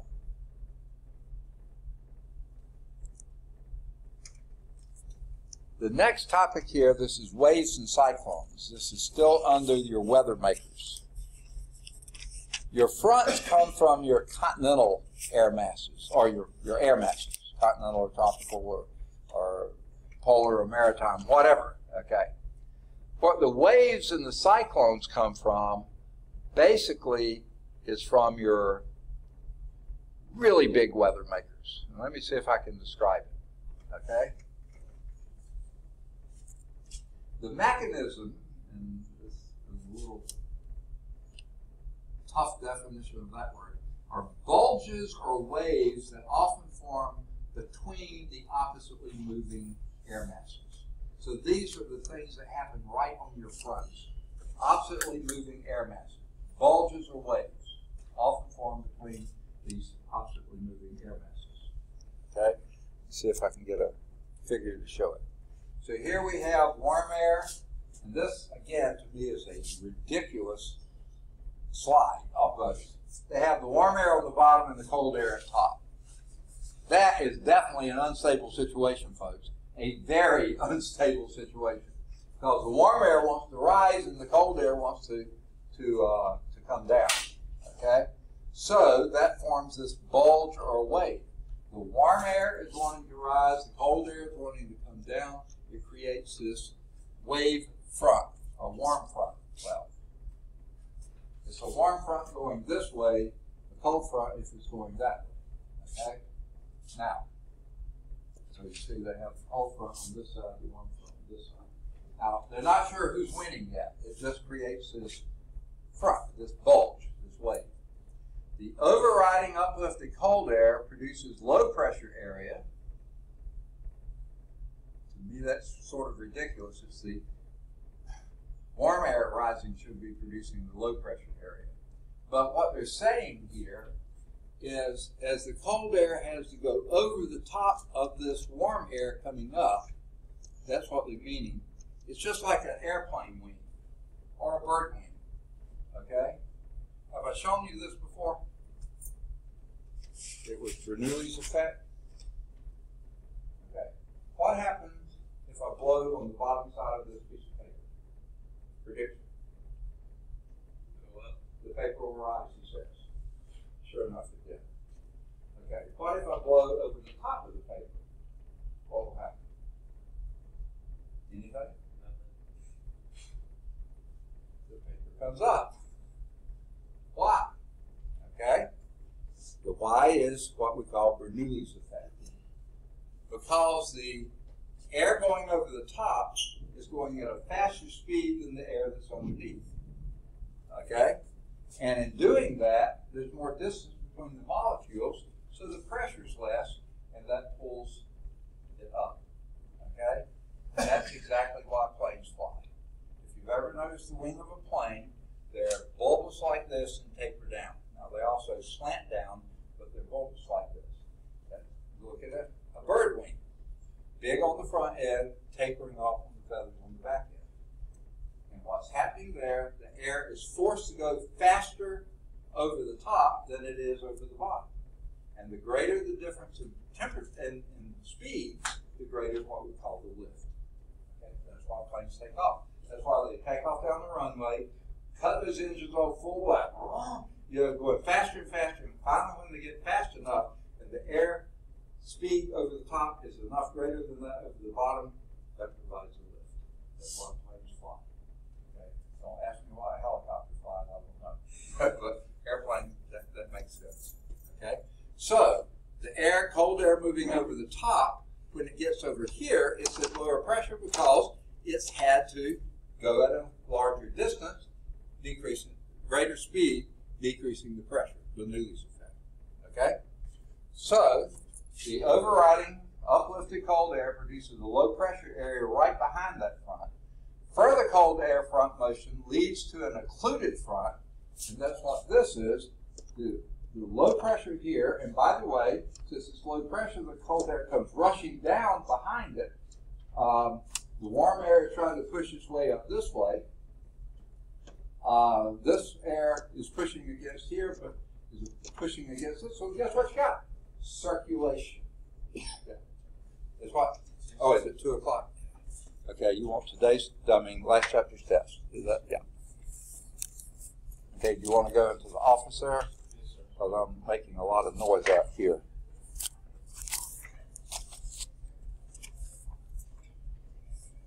Yeah, I think that's it. Okay. Yeah, turn on the light, whatever you do. Cassidy, did you want to make up one now? Which one? Um, it's not the last one, but I think it's, I have two testimonies. Okay, well, which one are you wanting to now? I'm taking both of them Okay, well, which one you want to take first? Whichever one it. Well, you name it. Just get one. Huh? Just get one, it's fine. Doesn't matter which one.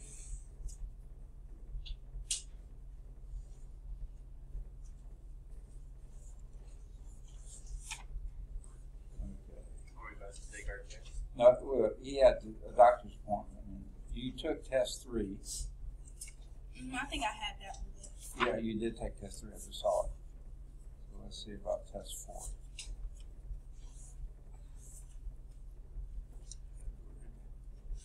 Uh, no, you haven't done test four. So let me give you test four. I can find it.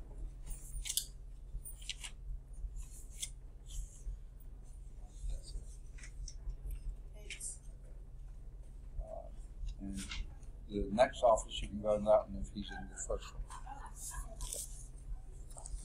Okay. No, we're gonna start the test before three, so let me know. Don't let three o'clock sneak up on me. It's getting close to two right now, right? So, just a minute.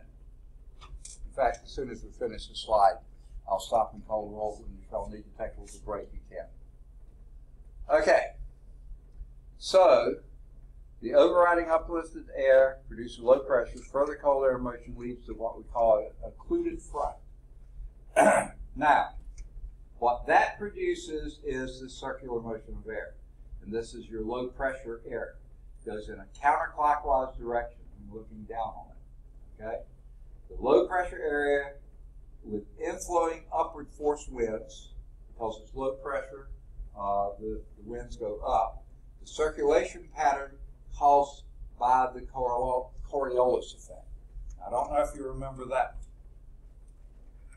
If, I'm going to do it in the wrong direction now, if you drop something from way above the Earth's surface, because the Earth is turning, as it falls, it creates a circular motion. And again, if something was moving up, it creates a circular motion in other direction. One of these is clockwise, and one is counterclockwise. And that's the Coriolis effect. And that's what produces in these areas the counterclockwise motion of the air. And guess what? Look at every hurricane you'll ever see on the weather map, always going counterclockwise. Look at every tornado you'll ever see is going counterclockwise. These low pressure, because of these occluded fronts, those produce these serious, serious weather conditions, tornadoes and, and hurricanes. Okay? Coriolis effect. And by the way, there's another potential paper topic. Who in the world is Coriolis? How does Coriolis effect deal with weather? I mean, there's I can think of about three or four different topics you can write on just that word there. Now, the reverse of that is your high pressure areas, and this you have what they call the anticyclone. The air is sinking, is warm, and relative humidity is lower, and that's why usually with high pressure we don't get rainfall. We got low, we got low pressure out there to produce the rainfall got now. High pressure, no rainfall. In fact, um, I remember one summer, one of the last summers I was home, it was one hot, dry summer, and we just every time we looked at the weather, Now, under high pressure again today, under high pressure again tomorrow, we knew there was gonna be no rain those days at all. Relative pressure is lowered, because the air is coming down from cooler to warmer, relative humidity reduces. And high pressure areas are always clockwise. Now, I say always. I said from where you sit, this will probably be the case. Guess what? Uh, this is a dumb story. I probably shouldn't tell it, but I'll tell it anyway. I had a professor at Georgia Tech, a physics professor, uh, actually for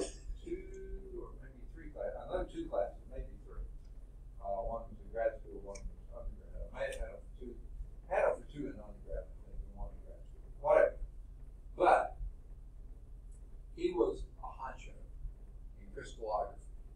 He was editor for one of the big crystallographic magazines, uh, journals that they had. He knew his stuff in crystallography. Okay? And as editor and stuff, they had the International Crystallography Association, whatever it's called, meetings one time down in Rio de Janeiro. Anyone ever heard of Rio? It's the party city of the Southern Hemisphere. Uh, Sao Paulo, Brazil is the big capital, uh, it's not the capital, but it's the economic capital of Brazil, the biggest city in Brazil. It's all business, pretty much. Up the coast a little way, you get Rio. That's the party city, okay? Beautiful city from what I hear. I've never been there. But that's party city in the whole southern hemisphere, I think. Okay? So Dr. Anyway, he was he was uh, president of this or uh, editor in chief of the magazine.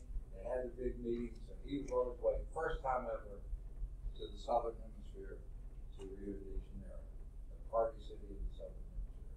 Okay? And he said he just couldn't wait when he landed and got to the hotel.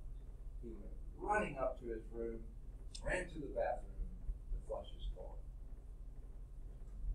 Because in the southern hemisphere, low pressure area goes clockwise and high pressure goes counterclockwise. And he wanted to watch the water go down the other way. Yeah, party city, and I want to go flush a toilet. Yeah, that's my idea of a big time. Um, dumb story. Okay. But he told the story, so I know it must be true. Uh, he didn't realize what that made him sound like. Okay. Now, the waves and the cyclones.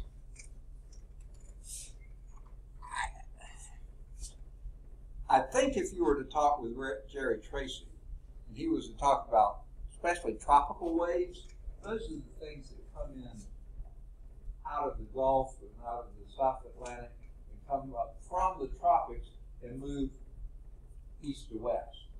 It's not common here in the U.S., but they do do it sometimes. Anytime you have something like that, that's going to be what they call a tropical wave. Now, what they're talking here, the cyclones, because we're prevailing westerly, these are the common tracks for some of the severe tornadic activity. And look at this one here.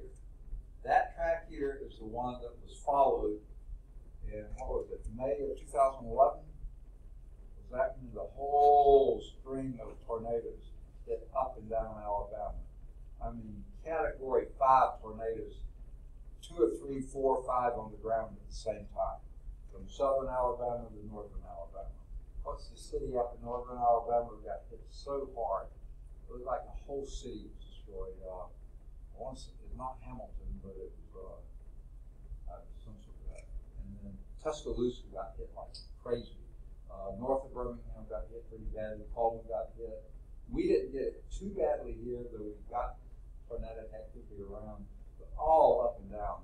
I mean, it was all day long. They were saying, look, we're only going to talk about the category fives that are within 20 miles of us. We can't, we can't worry about the others, you know.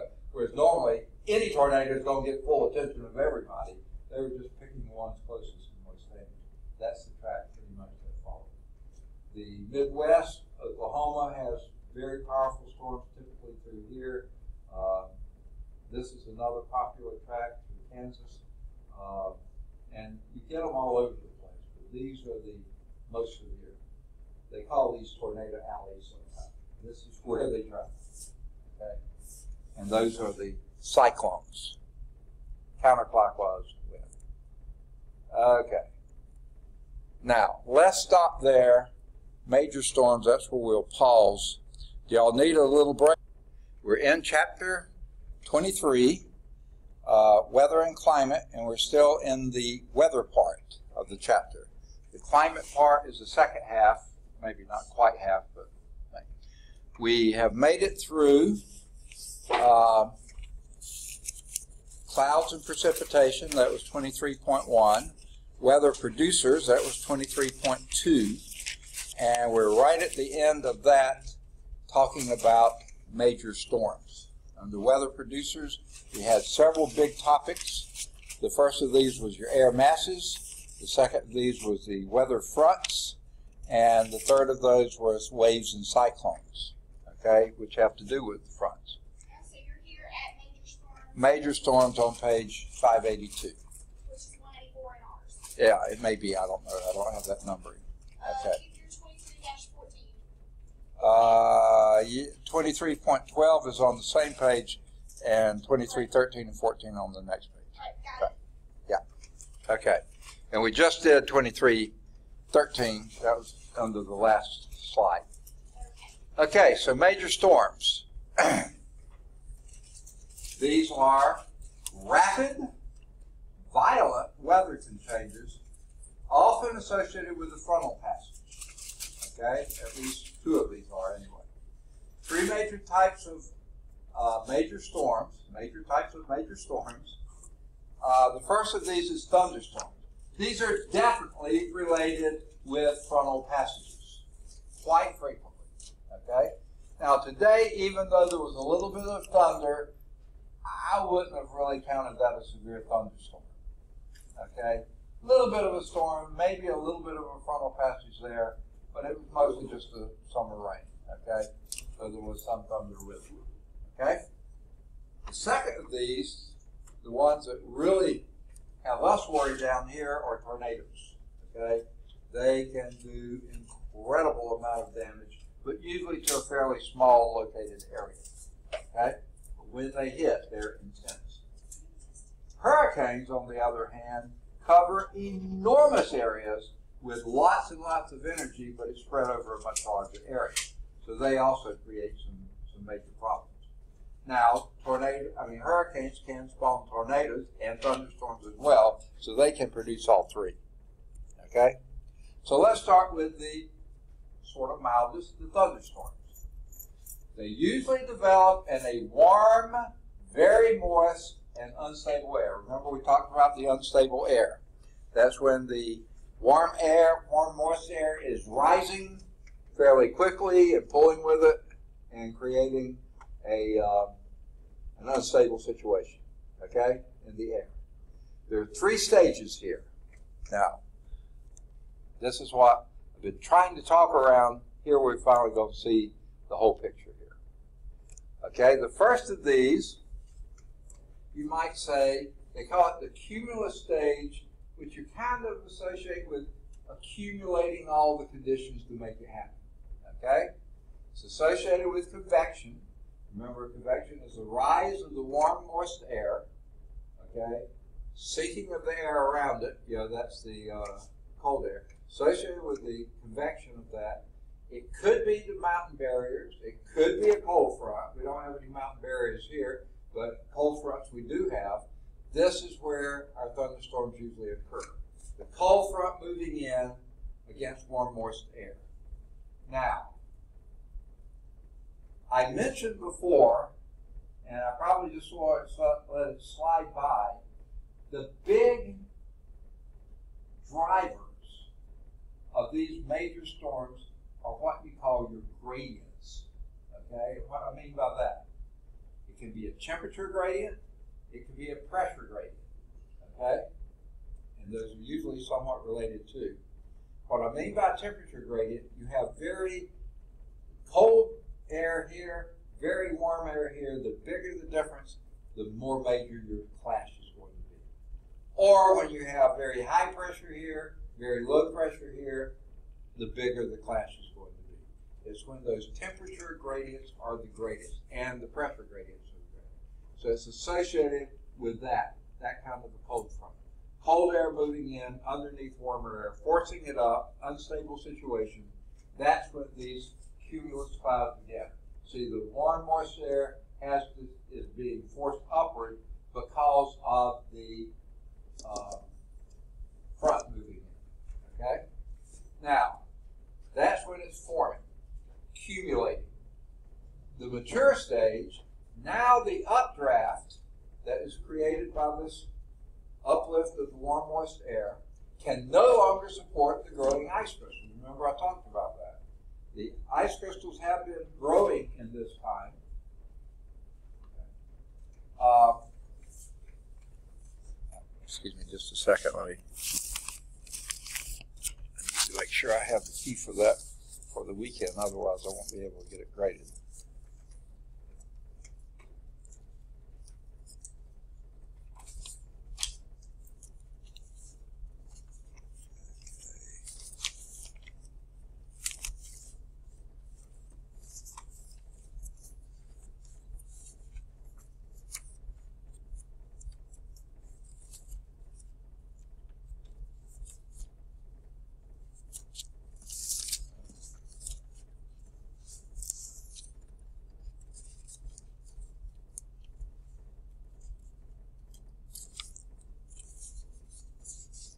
Didn't do this.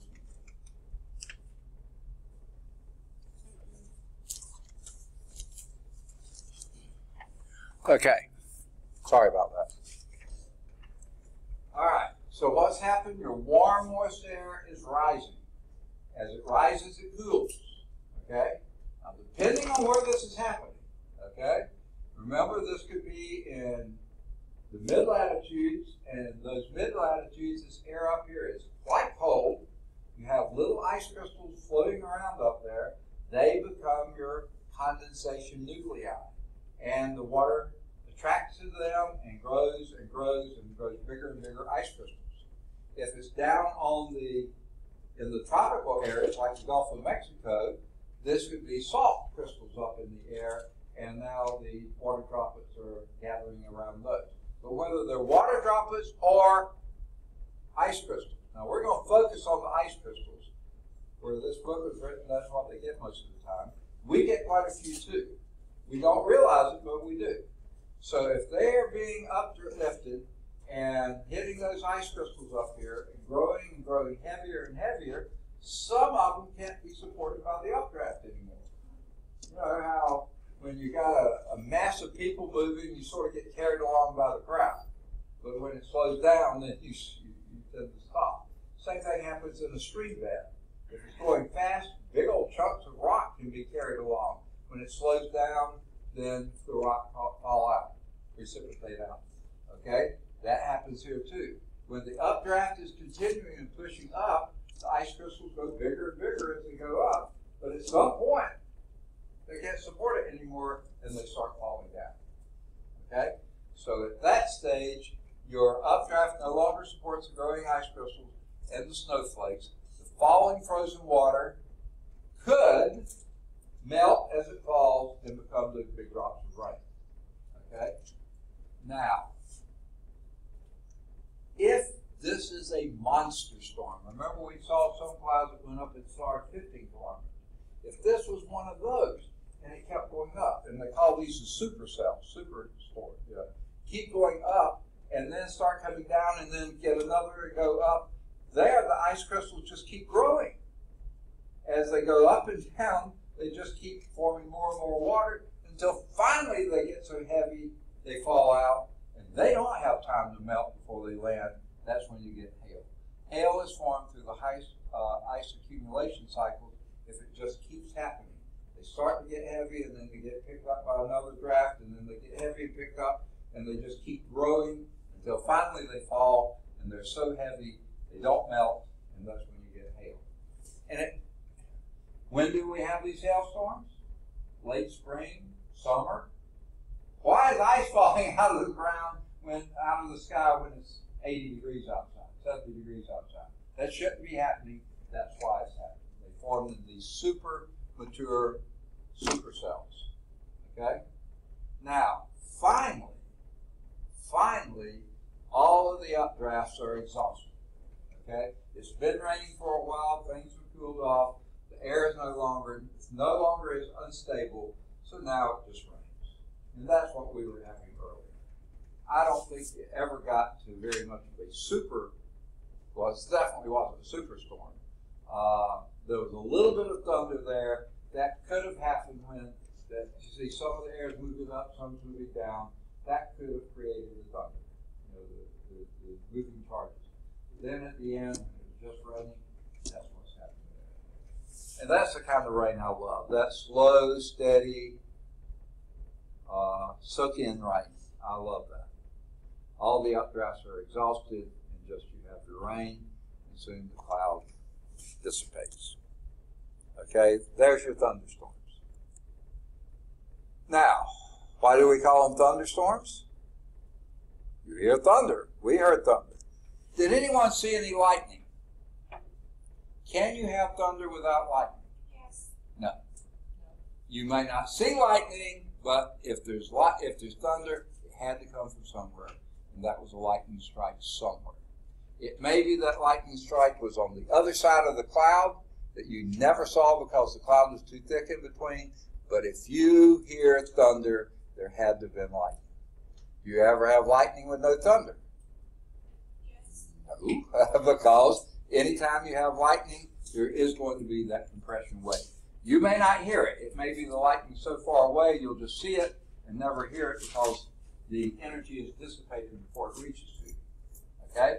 So, lightning and thunder, the updrafts, downdrafts, like I was talking about before, the air masses moving past each other, circulating precipitation, separate electric charges. It's kind of like, have you ever done this, those of you who have hair? I'm sorry. Um, the- it's not that funny. Okay. When you've been combing your hair with, say, a, a rubber comb or, or something like that, and then you find that your hair is following the brush, you know, because of static electricity.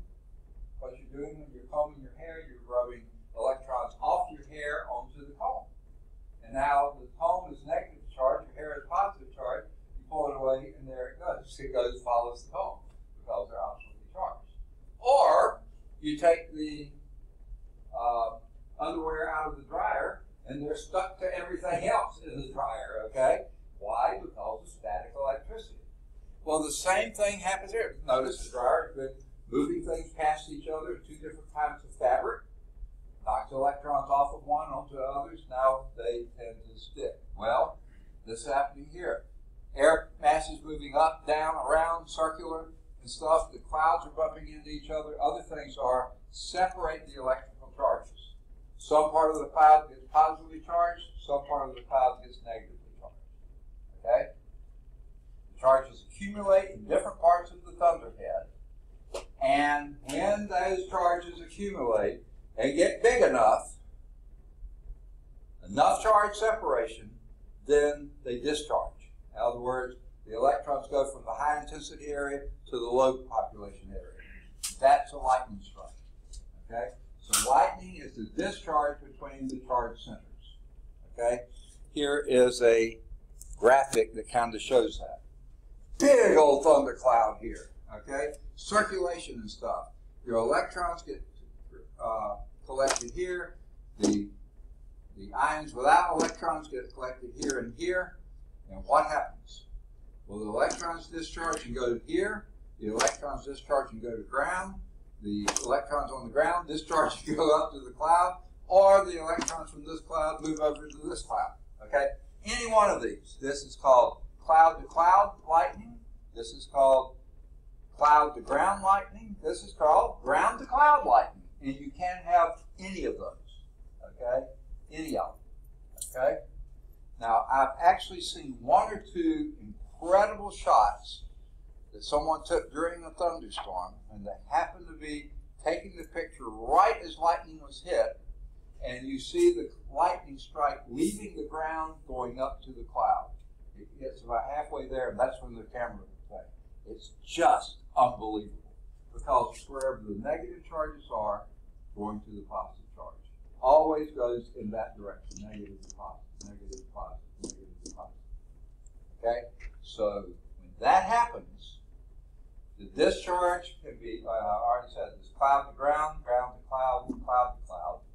Now, when you have that big of charge separation and charge discharge, I mean, that is a lot of energy going very quickly and heating up the air around it very rapidly. Okay? That creates a huge pressure wave followed by a rarefaction. Guess what that is? Sound. That's how I'm talking to you. I'm forcing air through my vocal cords, through the larynx, and it's creating vibrations. If you hold your hand in front of your mouth and talk, you feel those little vibrations of air. Okay? That's what's happening. That's what sound is. So when you have a lightning discharge, you know, just suddenly that it I mean it heats up really fast. And lightning, if lightning ever strikes somebody or something, it burns because it's very hot. There's, there's I mean, a lot of discharge going on. It expands and then shrinks. That's a pressure wave, and that produces the crack of thunder. Whether you see the lightning or not, the thunder happens. Whether you hear the thunder or not, the lightning happens.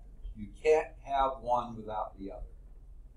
If you have one, you have both, whether you see or hear it or not. Okay? It may be, and by the way, light travels many times faster than sound does. So sometimes you'll see lightning, and a few seconds later hear thunder, and you think, "Well, no, there was no thunder with that." Yes, there was. That's what you heard several seconds later. You know. In fact, the old saying was, "Count the number of seconds after you see lightning, and that's how many miles away." Now that's just an approximation, but it is a pretty good deal. If you see lightning, even though it's really bright, it's really intense, you two, a thousand three, and then hear a massive crack of thunder, you know that was at least three miles away, or four miles away, or whatever it was. So you may not have to get into shelter immediately. If you see lightning, boom, you know, and it's just immediate, that's close, folks. And I, actually, that happened to me one time driving back to uh, to school. Uh, I lived in about three hours away from Atlanta, where Georgia Tech was. It was a Sunday afternoon. My mom had fixed just this wonderful meal. I'd eaten way too much because I'd been hungry all week, you know. Anyway, driving back to school, and I swear I wasn't more than five miles from home. I was so sleepy, I thought, I don't know if I'm going to make it, but it just happened to be a big storm decided to hit that time. And lightning struck a tree or something right by the side of the road there.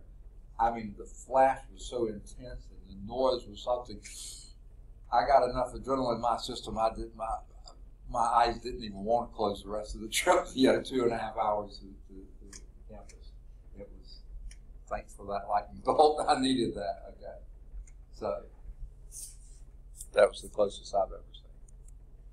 All right, moving on to tornadoes. Those were our thunderstorms.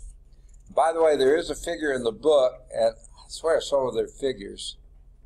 Uh, the figure 2314 they were talking about earlier, uh, and it is sort of true, but it's it's a bizarre kind of the way they have the lines going. It is exactly what's happening, but it's not a very instructive figure to me. But maybe it is to you. Okay. Now, this other figure in the book on page uh, 585, it's uh, figure 2317. Look at the size of that hailstorm stone. Uh, that was uh, damaging automobiles. I can believe it. Structures. I can believe it. Crops. I really can believe it. They don't say where it was, but uh, that was one major hailstone there. Okay. Now, moving on to tornadoes. Believe it or not, these are the smallest of our violent weather. things. A thunderstorm is going to cover a big area, tall. I mean, it, it's big, okay?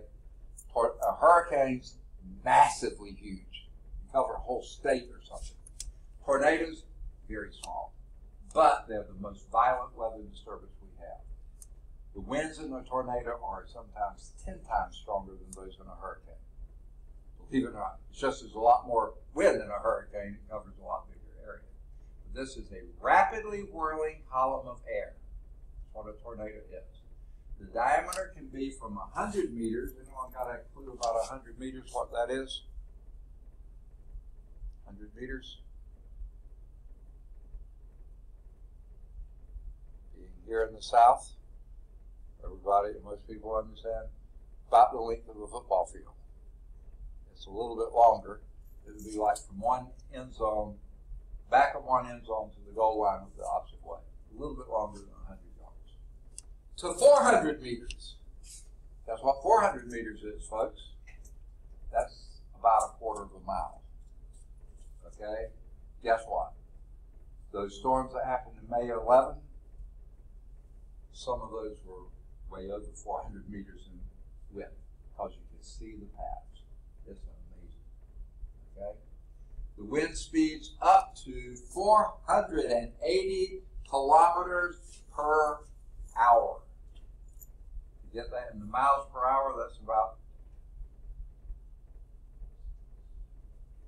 about 300 miles per hour. 300 miles per hour wind speeds. Amazing. The damage produced, now, I would, well, maybe this is right. Damage is produced by high winds. If you've got 300 mile per hour wind, those are high winds, okay? And that can create a lot of damage. But sometimes the damage is greater in that drop in pressure. Because the drop in pressure to produce that big of wind is an enormous drop in pressure. Have you ever noticed in tornadic areas that roofs are never caved in? They're always pulled off. Houses are pulled off the foundations, okay, because of that drop in pressure. Um, it looks like to be about what two thirty-five, something like that. Okay. And this is a combination of the two. The flying debris is called debris is called by the high caused by the high winds. Okay, and that's big damage producers. So remember the first of the summer when we went over safety, we said get away from windows because if it was a tornado out there, some of those limbs are going to be detached from the trees, and if they just happen to be heading in the wrong direction, they'd be coming right through those windows. Okay? You don't want to be there. You don't want to be in the same room with all that glass flying around. Okay? That's why you want to be lowest level interior. Lowest level, so you're not up uh, where things can be knocked around, or an interior not near any windows. Now, as I said before, these are sometimes associated, in fact, most of the time, associated with the most intense thunderstorms. So if you have a thunderstorm, that could be producing a tornado. If you have a hurricane, that can be producing thunderstorms and tornadoes. So tornadoes could be produced by any of those. Okay? Here's a picture of one. Now, I think this one, if I'm remembering, was around Dallas, Texas. Let's see what this one is. This one that's in your book was uh, Marquette, Kansas. And it seems like that may have been the same year that ours hit in Alabama. It seems like we were in May and they were in June or July. Uh, but it seems like it was around the same time because no sooner were we out of the news before they were in the news. It, it was it was awfully close, and they can be way devastating. Okay. Now, whoa, that's all they say about tornadoes. Okay. Um, I thought there is in your book, and I think it's worth looking at, on page 586 or if you have the other numbers, 2314, the 14th page in chapter 23, if you have that number. Um, some things on tornado damage, and they give the scales here. Tornadoes are rated on wind speed and damage. Here is a scale with approximate wind speeds. They call them category 0, 1, 2, 3, 4, and 5. That day in it was April or May. I don't remember. I keep saying May, but maybe it was April of 2011.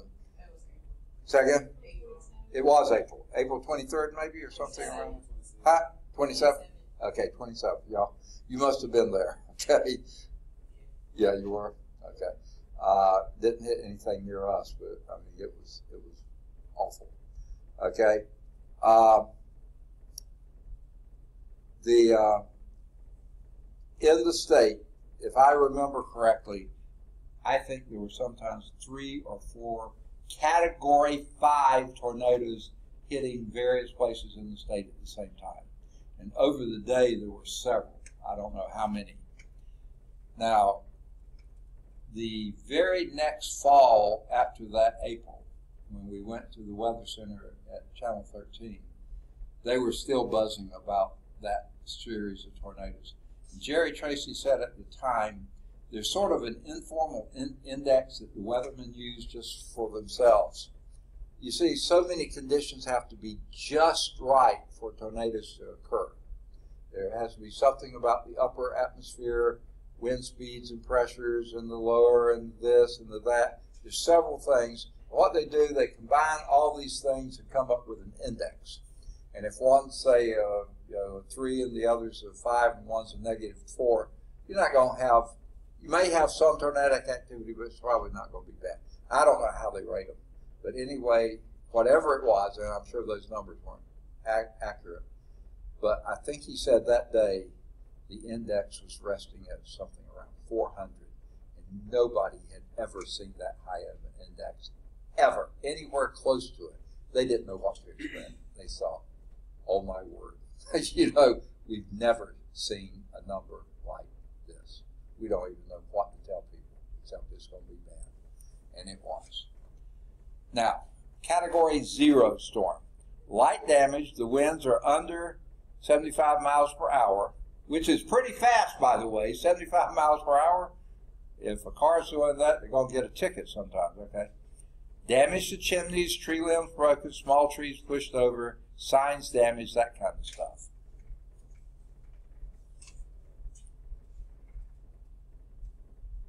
I wasn't home at the time.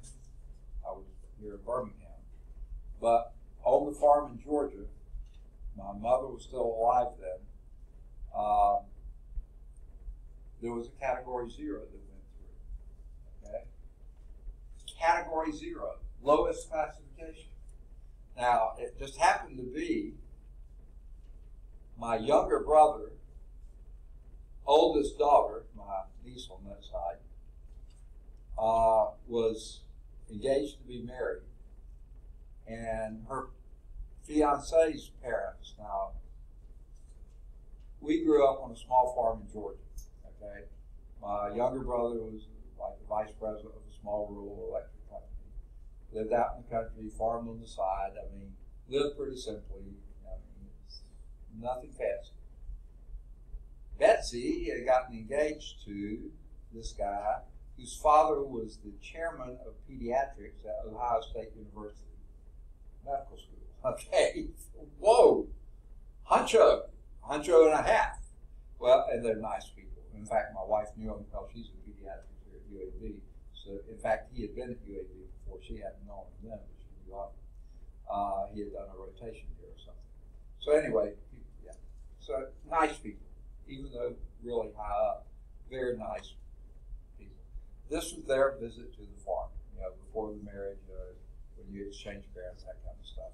So they had come to the farm to meet my brother and his wife, and um, they had said there could be a pretty good chance of rain later in the day, so Dad wanted to take them out and show the farm. So he hauled them out there and drove them around, probably in a truck, you know, or SUV or something, driving around the farm out through the fields. and he was showing them this one field, uh, and the cows were around. He was showing them the herd, and they heard sort of this whoosh, you know, type noise. They looked across, and the adjacent farm to ours, it used to be a dairy. You could see a tornado moving across the path there. And he turned around and looked, the cows had disappeared. I mean, it's like they were removed from their being up. They had just disappeared. They had sensed it before they heard it. They just didn't notice the cows were out of there. And here they were out in the middle of a field with a tornado in sight. So they went down, got into a ditch that had old cement blocks and other things in it, and they were there. This is a good way to introduce your parents-in-law. I mean, your daughter's parents-in-law to farm. You know, they thought, are they going to haul off the sun and they get out of this place? I don't know. Okay. But anyway, that was a category zero storm. There was a big house. My older brother and his wife had just moved out of this house because her mother had recently died, and her brother actually owned the house. So as long as the mother was alive, he wanted them to stay there and take care of his mom. Because she was a nurse. Uh, daughter that my brother is married to was a nurse. And then once the mother died, get out because we want to take over the house.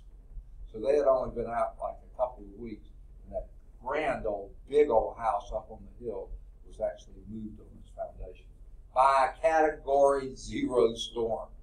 Okay, it's just amazing the energy these things have. So it made its way across the field. Must have gone down the road or something, come across, and then headed up, changed direction, cut a swath of trees through my mother's yard.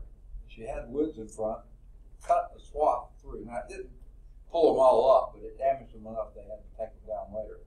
And took off part of her magnolia tree, hooked around the house. All it did was move a couple of posts and blow off some shingles. That's all the damage it did to the house. Went around the house, completely demolished my dad's shit, uh, work tool, you know, building where it was a concrete block building. There was hardly one block left on top of the other. The roof was gone for good. No one ever found the roof. Big, major roof. I mean, the building was the size of these two classrooms together. You know, a good sized building, concrete block, just about completely level. A few blocks left on one wall, all the rest of them destroyed. Roof taken off into the woods somewhere.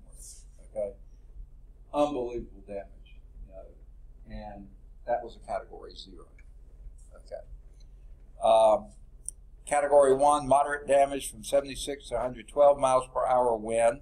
Roofing materials removed, mobile homes and moving autos pushed around and overturned. So do not get on the road and try to head home or anywhere else during a tornadic event. Get out of the car into a ditch. That's what my brother and his future in-laws did. Category two, considerable damage. That's 113 to 155 mile an hour winds. Roofs torn off houses, mobile homes demolished, box cars, not just cars, box cars overturned, large trees snapped and uprooted, light objects become missiles. Okay, you don't want to be there. Category three, severe damage. 156 to 205 miles per hour winds. Roofs and some walls are torn off of homes. Whole trains are overturned. Most trees are uprooted, not just snapped, but uprooted. Cars are lifted off the ground and thrown around. Okay? Now, my wife was from Huntsville, Alabama, and when she was in high school, they had a tornado up there in the spring one year, and she said literally cars were thrown through intersections. They had another one up there. I think it was after we were married. That was uh, that was pretty bad too. Okay, you don't want to be in a car during a tornado. Category four: devastating damage. Winds from 206 to 260 miles an hour. Homes are completely leveled. Cars are thrown. Large missiles are generated. This is some of those storms that in April of 2011 were many of those are category four storms. Category five, incredible damage, winds 261 to 318 miles per hour. Homes are demolished, swept away.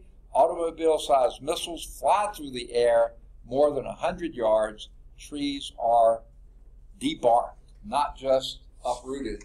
The bark is taken off by, by the wind. Just amazing. Okay. Now,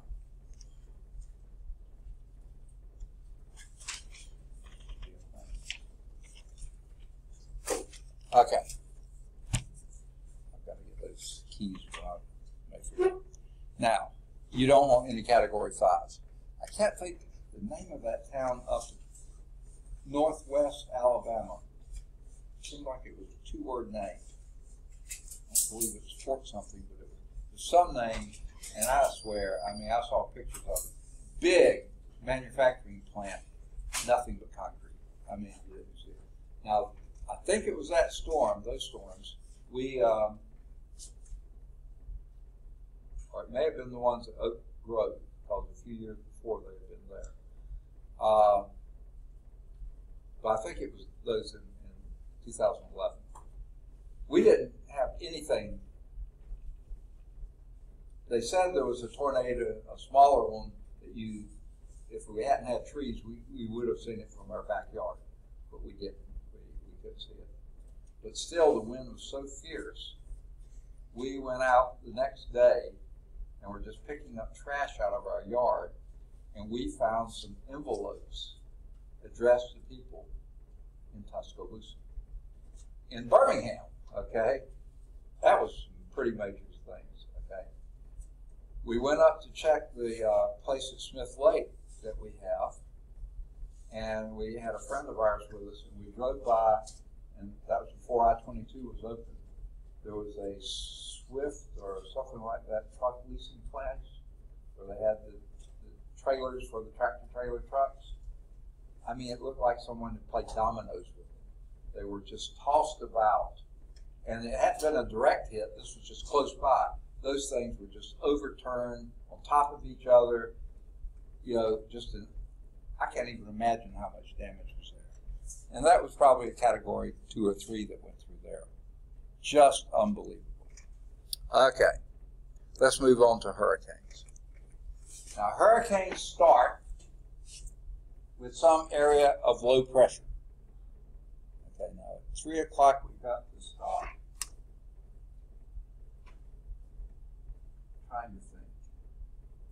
Why don't we start with hurricanes next time? Okay, because this does require some activity here. It's almost two pages, and I think to do a good job of it, we'll take a little bit more. I want uh, y'all to have plenty of time to work on the test and I want to be able to get away to uh, get to the Birmingham campus uh, close to on time anyway.